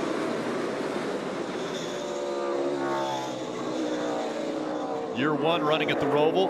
Blaney was in the right place at the right time. When Martin Truex Jr. and Jimmie Johnson were diving into that final chicane and contact was made, Ryan Blaney took advantage of it as those two spun. Blaney went on to win the race. Such a great shot right there, be able to show you how the track still is wet in some locations, even after all this time.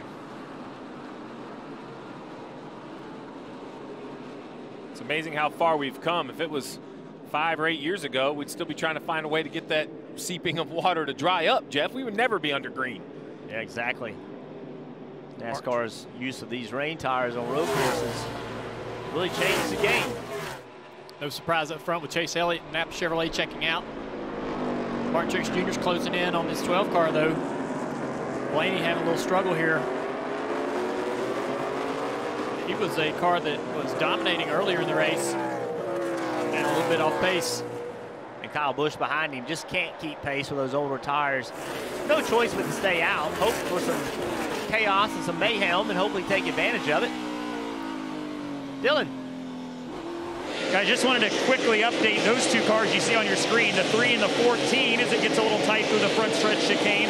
Both of them, of course, came into today battling for a playoff spot. For Clint Bowyer, had one of the fastest cars on the racetrack and then had that contact on the racetrack, a slow pit stop, relegated into the back, but they have not quit fighting. He's marched his way through the field without power steering or with power steering issues for a majority of the middle part of this race. He now runs just inside the top 15, and then Austin Dillon in front of him. Keep in mind with him, too, this is his first road course start of the year, so he spent the first part of the race really just kind of trying to get reacclimated to how you have to race a road course. So that put them behind just a little bit, and seems like really for these guys, it's just kind of too little too late at this point, Parker.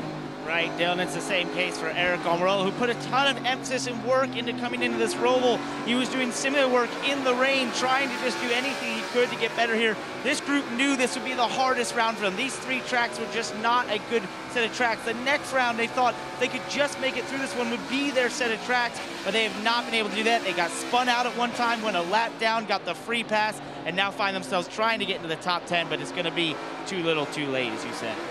Oh, we got a car spinning around the back straightaway chicane. Michael McDowell's around, facing oncoming traffic.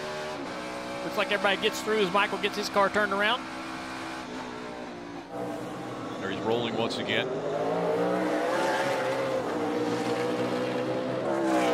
I think this dominance by Chase Elliott with seven laps to go, Rick, has only got to really push these other teams to try to find something to develop an answer at the road courses. Remember, next year's schedule's been released. Six road courses on the schedule. Oh, McDowell again. Goes backwards again. Hmm. Not sure what's going on with the 34 car, but as I was thinking, you know. Something's broke. Oh, this could bring out a late yellow here. Yes. Can't get this car moving. Yeah, he's in a precarious, really bad spot. NASCAR's trying to give him all the time he can. He finally gets it refired, turned around here. Still, Still- struggling to get the car righted. Yeah, no cars coming though. So he's able to keep going and we stay green. You talked about this one on the backstretch, Junior. Yeah, here's uh, the issue here, getting down in the corner. Looks like looks like he got in there just hot. Didn't seem to be turned around there. By anybody. Here he is coming back around to the front straightaway just shortly after that. I think he just got in the water there off to the driver's right. Track still seeping water down the racetrack across the groove. Six laps to go, and Steve, you were talking about six road course road courses on the schedule for 2021. Yeah, a few new looks. We're going to get to go to Austin, Austin, and see the COTA track down there, Circuit of Americas. Sonoma, which we've seen before, Road America. The Xfinity cars have been there. Watkins Glen. We saw the Indy Road course this year. That was a fun road course. And then here at the Roval. So, I mean, when you look at that, right, I mean, that has got to play a hand for someone like Chase Elliott. You know, the Cup cars have never been on the road course at Indianapolis. No stock car that I know of other than maybe a practice has been at COTA. We haven't seen Cup at Road America. So a, a, company and a team and an organization that has so much confidence without a lot of prep, without a lot of testing, they have to be the favorites already going into those races. Think about how many years it has been that there's been either two or just recently three with the addition of the Charlotte Roval, only two or three road course races the entire year. And now you've doubled that. There's now six in 2021 and I'm good with it. I, think the Xfinity's always had more road courses. Uh, you know, 6 out of 36 seems like a good percentage to me. We've seen how entertaining these can be for the fans. And to be honest, we talk about Jeff Gordon's numbers. He was one of the early drivers that really took to road coursing. And Jeff, would you say, just said, I'm going to be good at this, and he put the effort in and it paid off for him. All of these drivers now, you can't say, hey, NASCAR is an oval track game, and I'm only going to worry about the oval track. There's too many. Six road course races next year will force all of these drivers to change their preparation and how they get ready for these road courses. Yeah, there was a time in the sport where it was two of 36 or two of 32 races, right? And, you know, every race paid the same amount of points. But now that you have now that you have races within the playoffs, and every race matters more than it's ever mattered. You see Blaney all over the racetrack you know, every race matters more than it ever has. You, you have to be good at them. And now there's six of them. So you have to put effort into it. And I think we've talked about it several times. I think that that favors some younger drivers also that will have a chance to fill some seats. Some younger drivers that are in the Xfinity Series. You know, we talked about, we know Austin Cindric. We know he's going to move up in 2022, but going to run a few races next year. Briscoe has been a good road racer. Does that schedule make it easier for them to get rides? And, you know, Jeff, I'll go one further. I have not heard any of these rumors or conversations, but if I'm a team owner, do I look back at someone like AJ Allmendinger, who won the Xfinity race yesterday? He has so much success. He's driving next year at the Rolex. He has won in the Xfinity Series this year, not just on an oval at Atlanta, but a road course yesterday in that heavy rain shower. Does that make his stock go up enough where he gets another shot at one of these teams? you know, at six races with AJ Allmendinger, I think you can go into thinking we could win here. Sure. Six races, I would even add the speedways. So now that's 10 of the 36 races that AJ Allmendinger has to be considered a threat to win. Well, we're talking a lot about road courses and what's going to happen in the future, but right now, the best on road courses is out front and really schooling the field. 2.2 seconds back to Joey Logano, who's second. Yeah, Chase Elliott and Snapper Chevrolet is on cruise control up turn six here. Right there tight on the curb. Downhill into turn seven and eight. That's where he passed for the lead. Erik Jones gets the drive off low onto the oval here. he said he's in cruise control. Keep this in mind.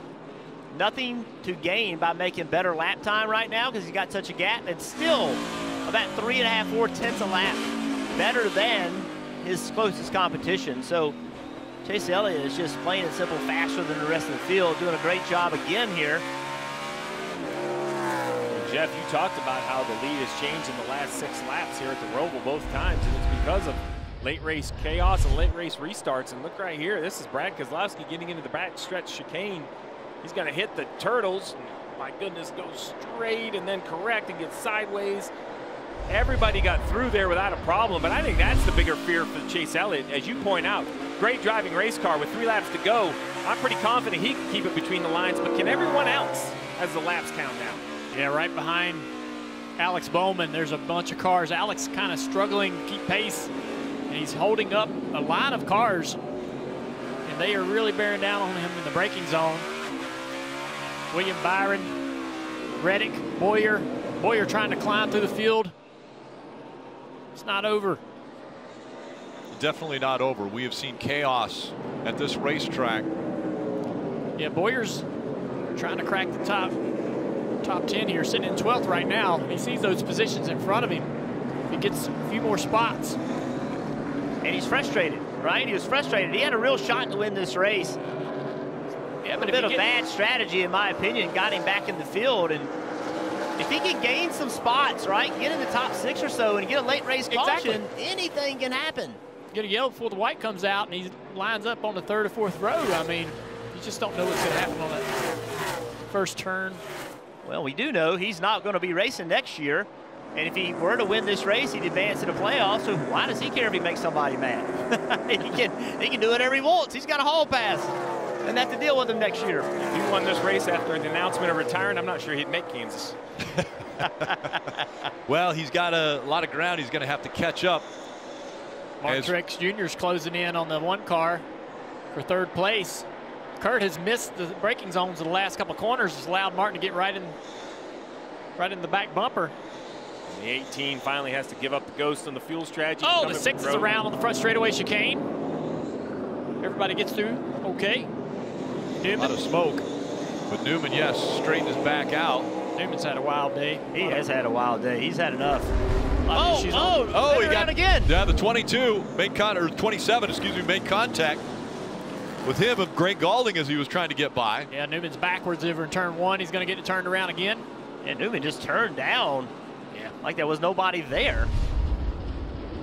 He's had a lot of problems on the racetrack and on pit road today. A lot of penalties and issues. Frustrating, frustrating day when things like that just keep piling on. Guys, we talked about Chase Elliott and what this win is going to do for momentum. One thing we haven't talked about is the five playoff points. That's going to fill his bucket. Oh, we got a back straightaway. Back straightaway chicane, the Truex 19 and the one car. One of Kurt Busch, Martin Truex Jr. They're running third and fourth. Truex and the one went down in there side by side. I think they both missed the entrance to the back straightaway chicane. Everybody's doing their best to cause late race caution. Here we go. Truex gets loose. He understands that the one's going to try to compete with him in the braking zone. And they both got in there too deep. Martin broke loose first. Gets sideways into Kurt. Kurt just not wanting to give up the spot. There won't be a restart. The white flag was taken by Chase Elliott as he's in the infield part of the course now. Yeah, I was mentioning, Rick, those five playoff points will give him the fourth most. So, so this win can help him in the next round, can help his path to the championship for Phoenix. And that now is the goal for everyone. Everyone that's in the top eight in points now, they're looking forward to the championship four. How do they get there? What do they do in the next three races? They've got Kansas, Texas, Martinsville in front of them to try to get to Phoenix. Momentum is also a very big thing in racing. And when you come off of something like what we're seeing Chase Elliott do, it has to give him a nod as far as momentum on his side. He has the best average running position of everybody in the playoffs, Rick. So he is the hottest driver in the playoffs right now. One of the youngest. Four road course wins in a row. Chase Elliott's going to do it again at the Roval.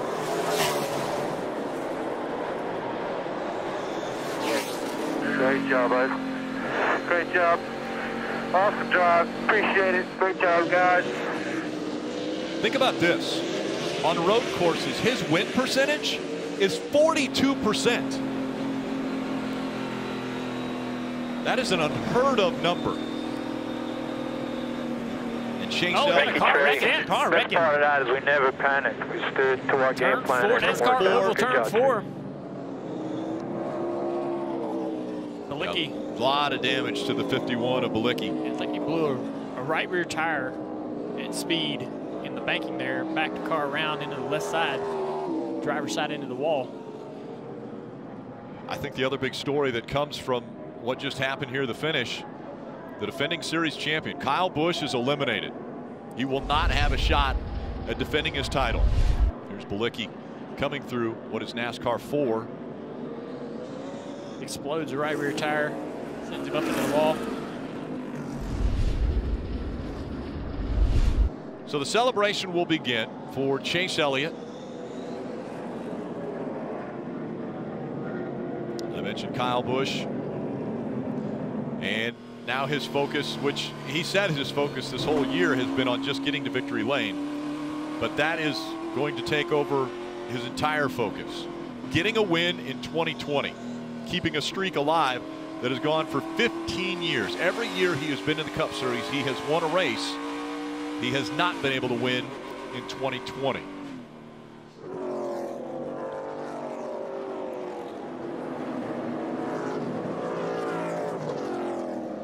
Coming in, the playoff standings, no one improved their position.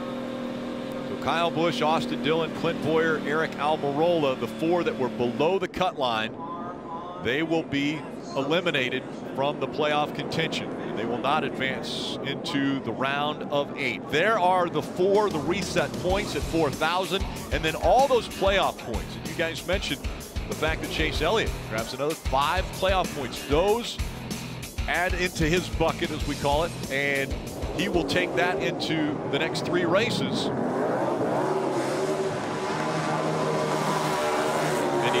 one step closer to a championship. It's been an interesting season for this team. They came into the year with a lot of speed in that Chevrolet, performing really well, almost won a lot of races early on, and then it became Harvick and Denny Hamlin rest of the year, and that's all we talked about. Now this team here seeming to peak at the right time. I know it's a road course. That's not where it's going to be settled for the title, but it's got to build a lot of confidence.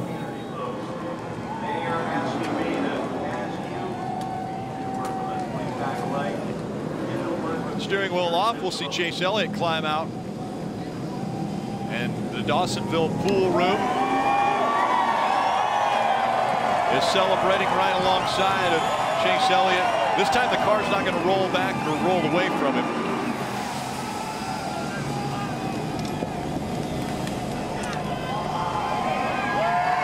That has happened before a year ago after he won here at the Roval. Gonna grab the checkered flag.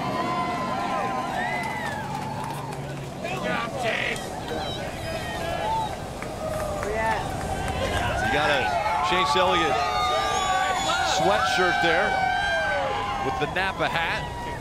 Some of The Chase Elliott fans coming down to congratulate him. There you go. Hey, move it.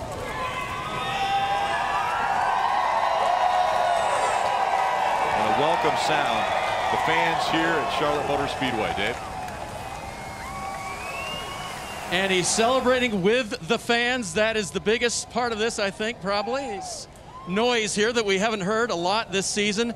But Chase, I think there's 37 drivers and 37 crew chiefs over on the other side here shaking their head going, man, how did he do it to us again? How did you win again today on a road course? Uh, well, just had another really fast Napa Camaro and, and really appreciate the effort. You know, I feel like we've, uh, road courses have been fortunate to us uh, the last few trips, but I feel like we, we just try to get a little better every time and uh, tweak on the small things. Felt like uh, I tweaked on some small things and got a little better than what I was here last year, which was good.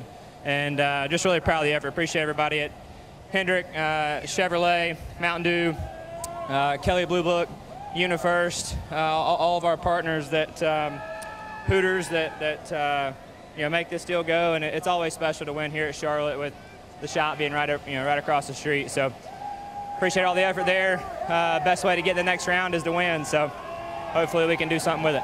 Chase, you tied Jeff Gordon for four road course victories in a row now. How important was it for you and this team, though, to advance with a win and not just on points? Well, that's always the goal, you know, and I, I feel like you, you start playing the points game and, and you can get yourself in trouble worrying about uh, things that are just out of your hands. So uh, as much as you want to think about those things and want to worry about them, you really just have to focus on you. And felt like we did a really good job of that today. Uh, pit stops were great.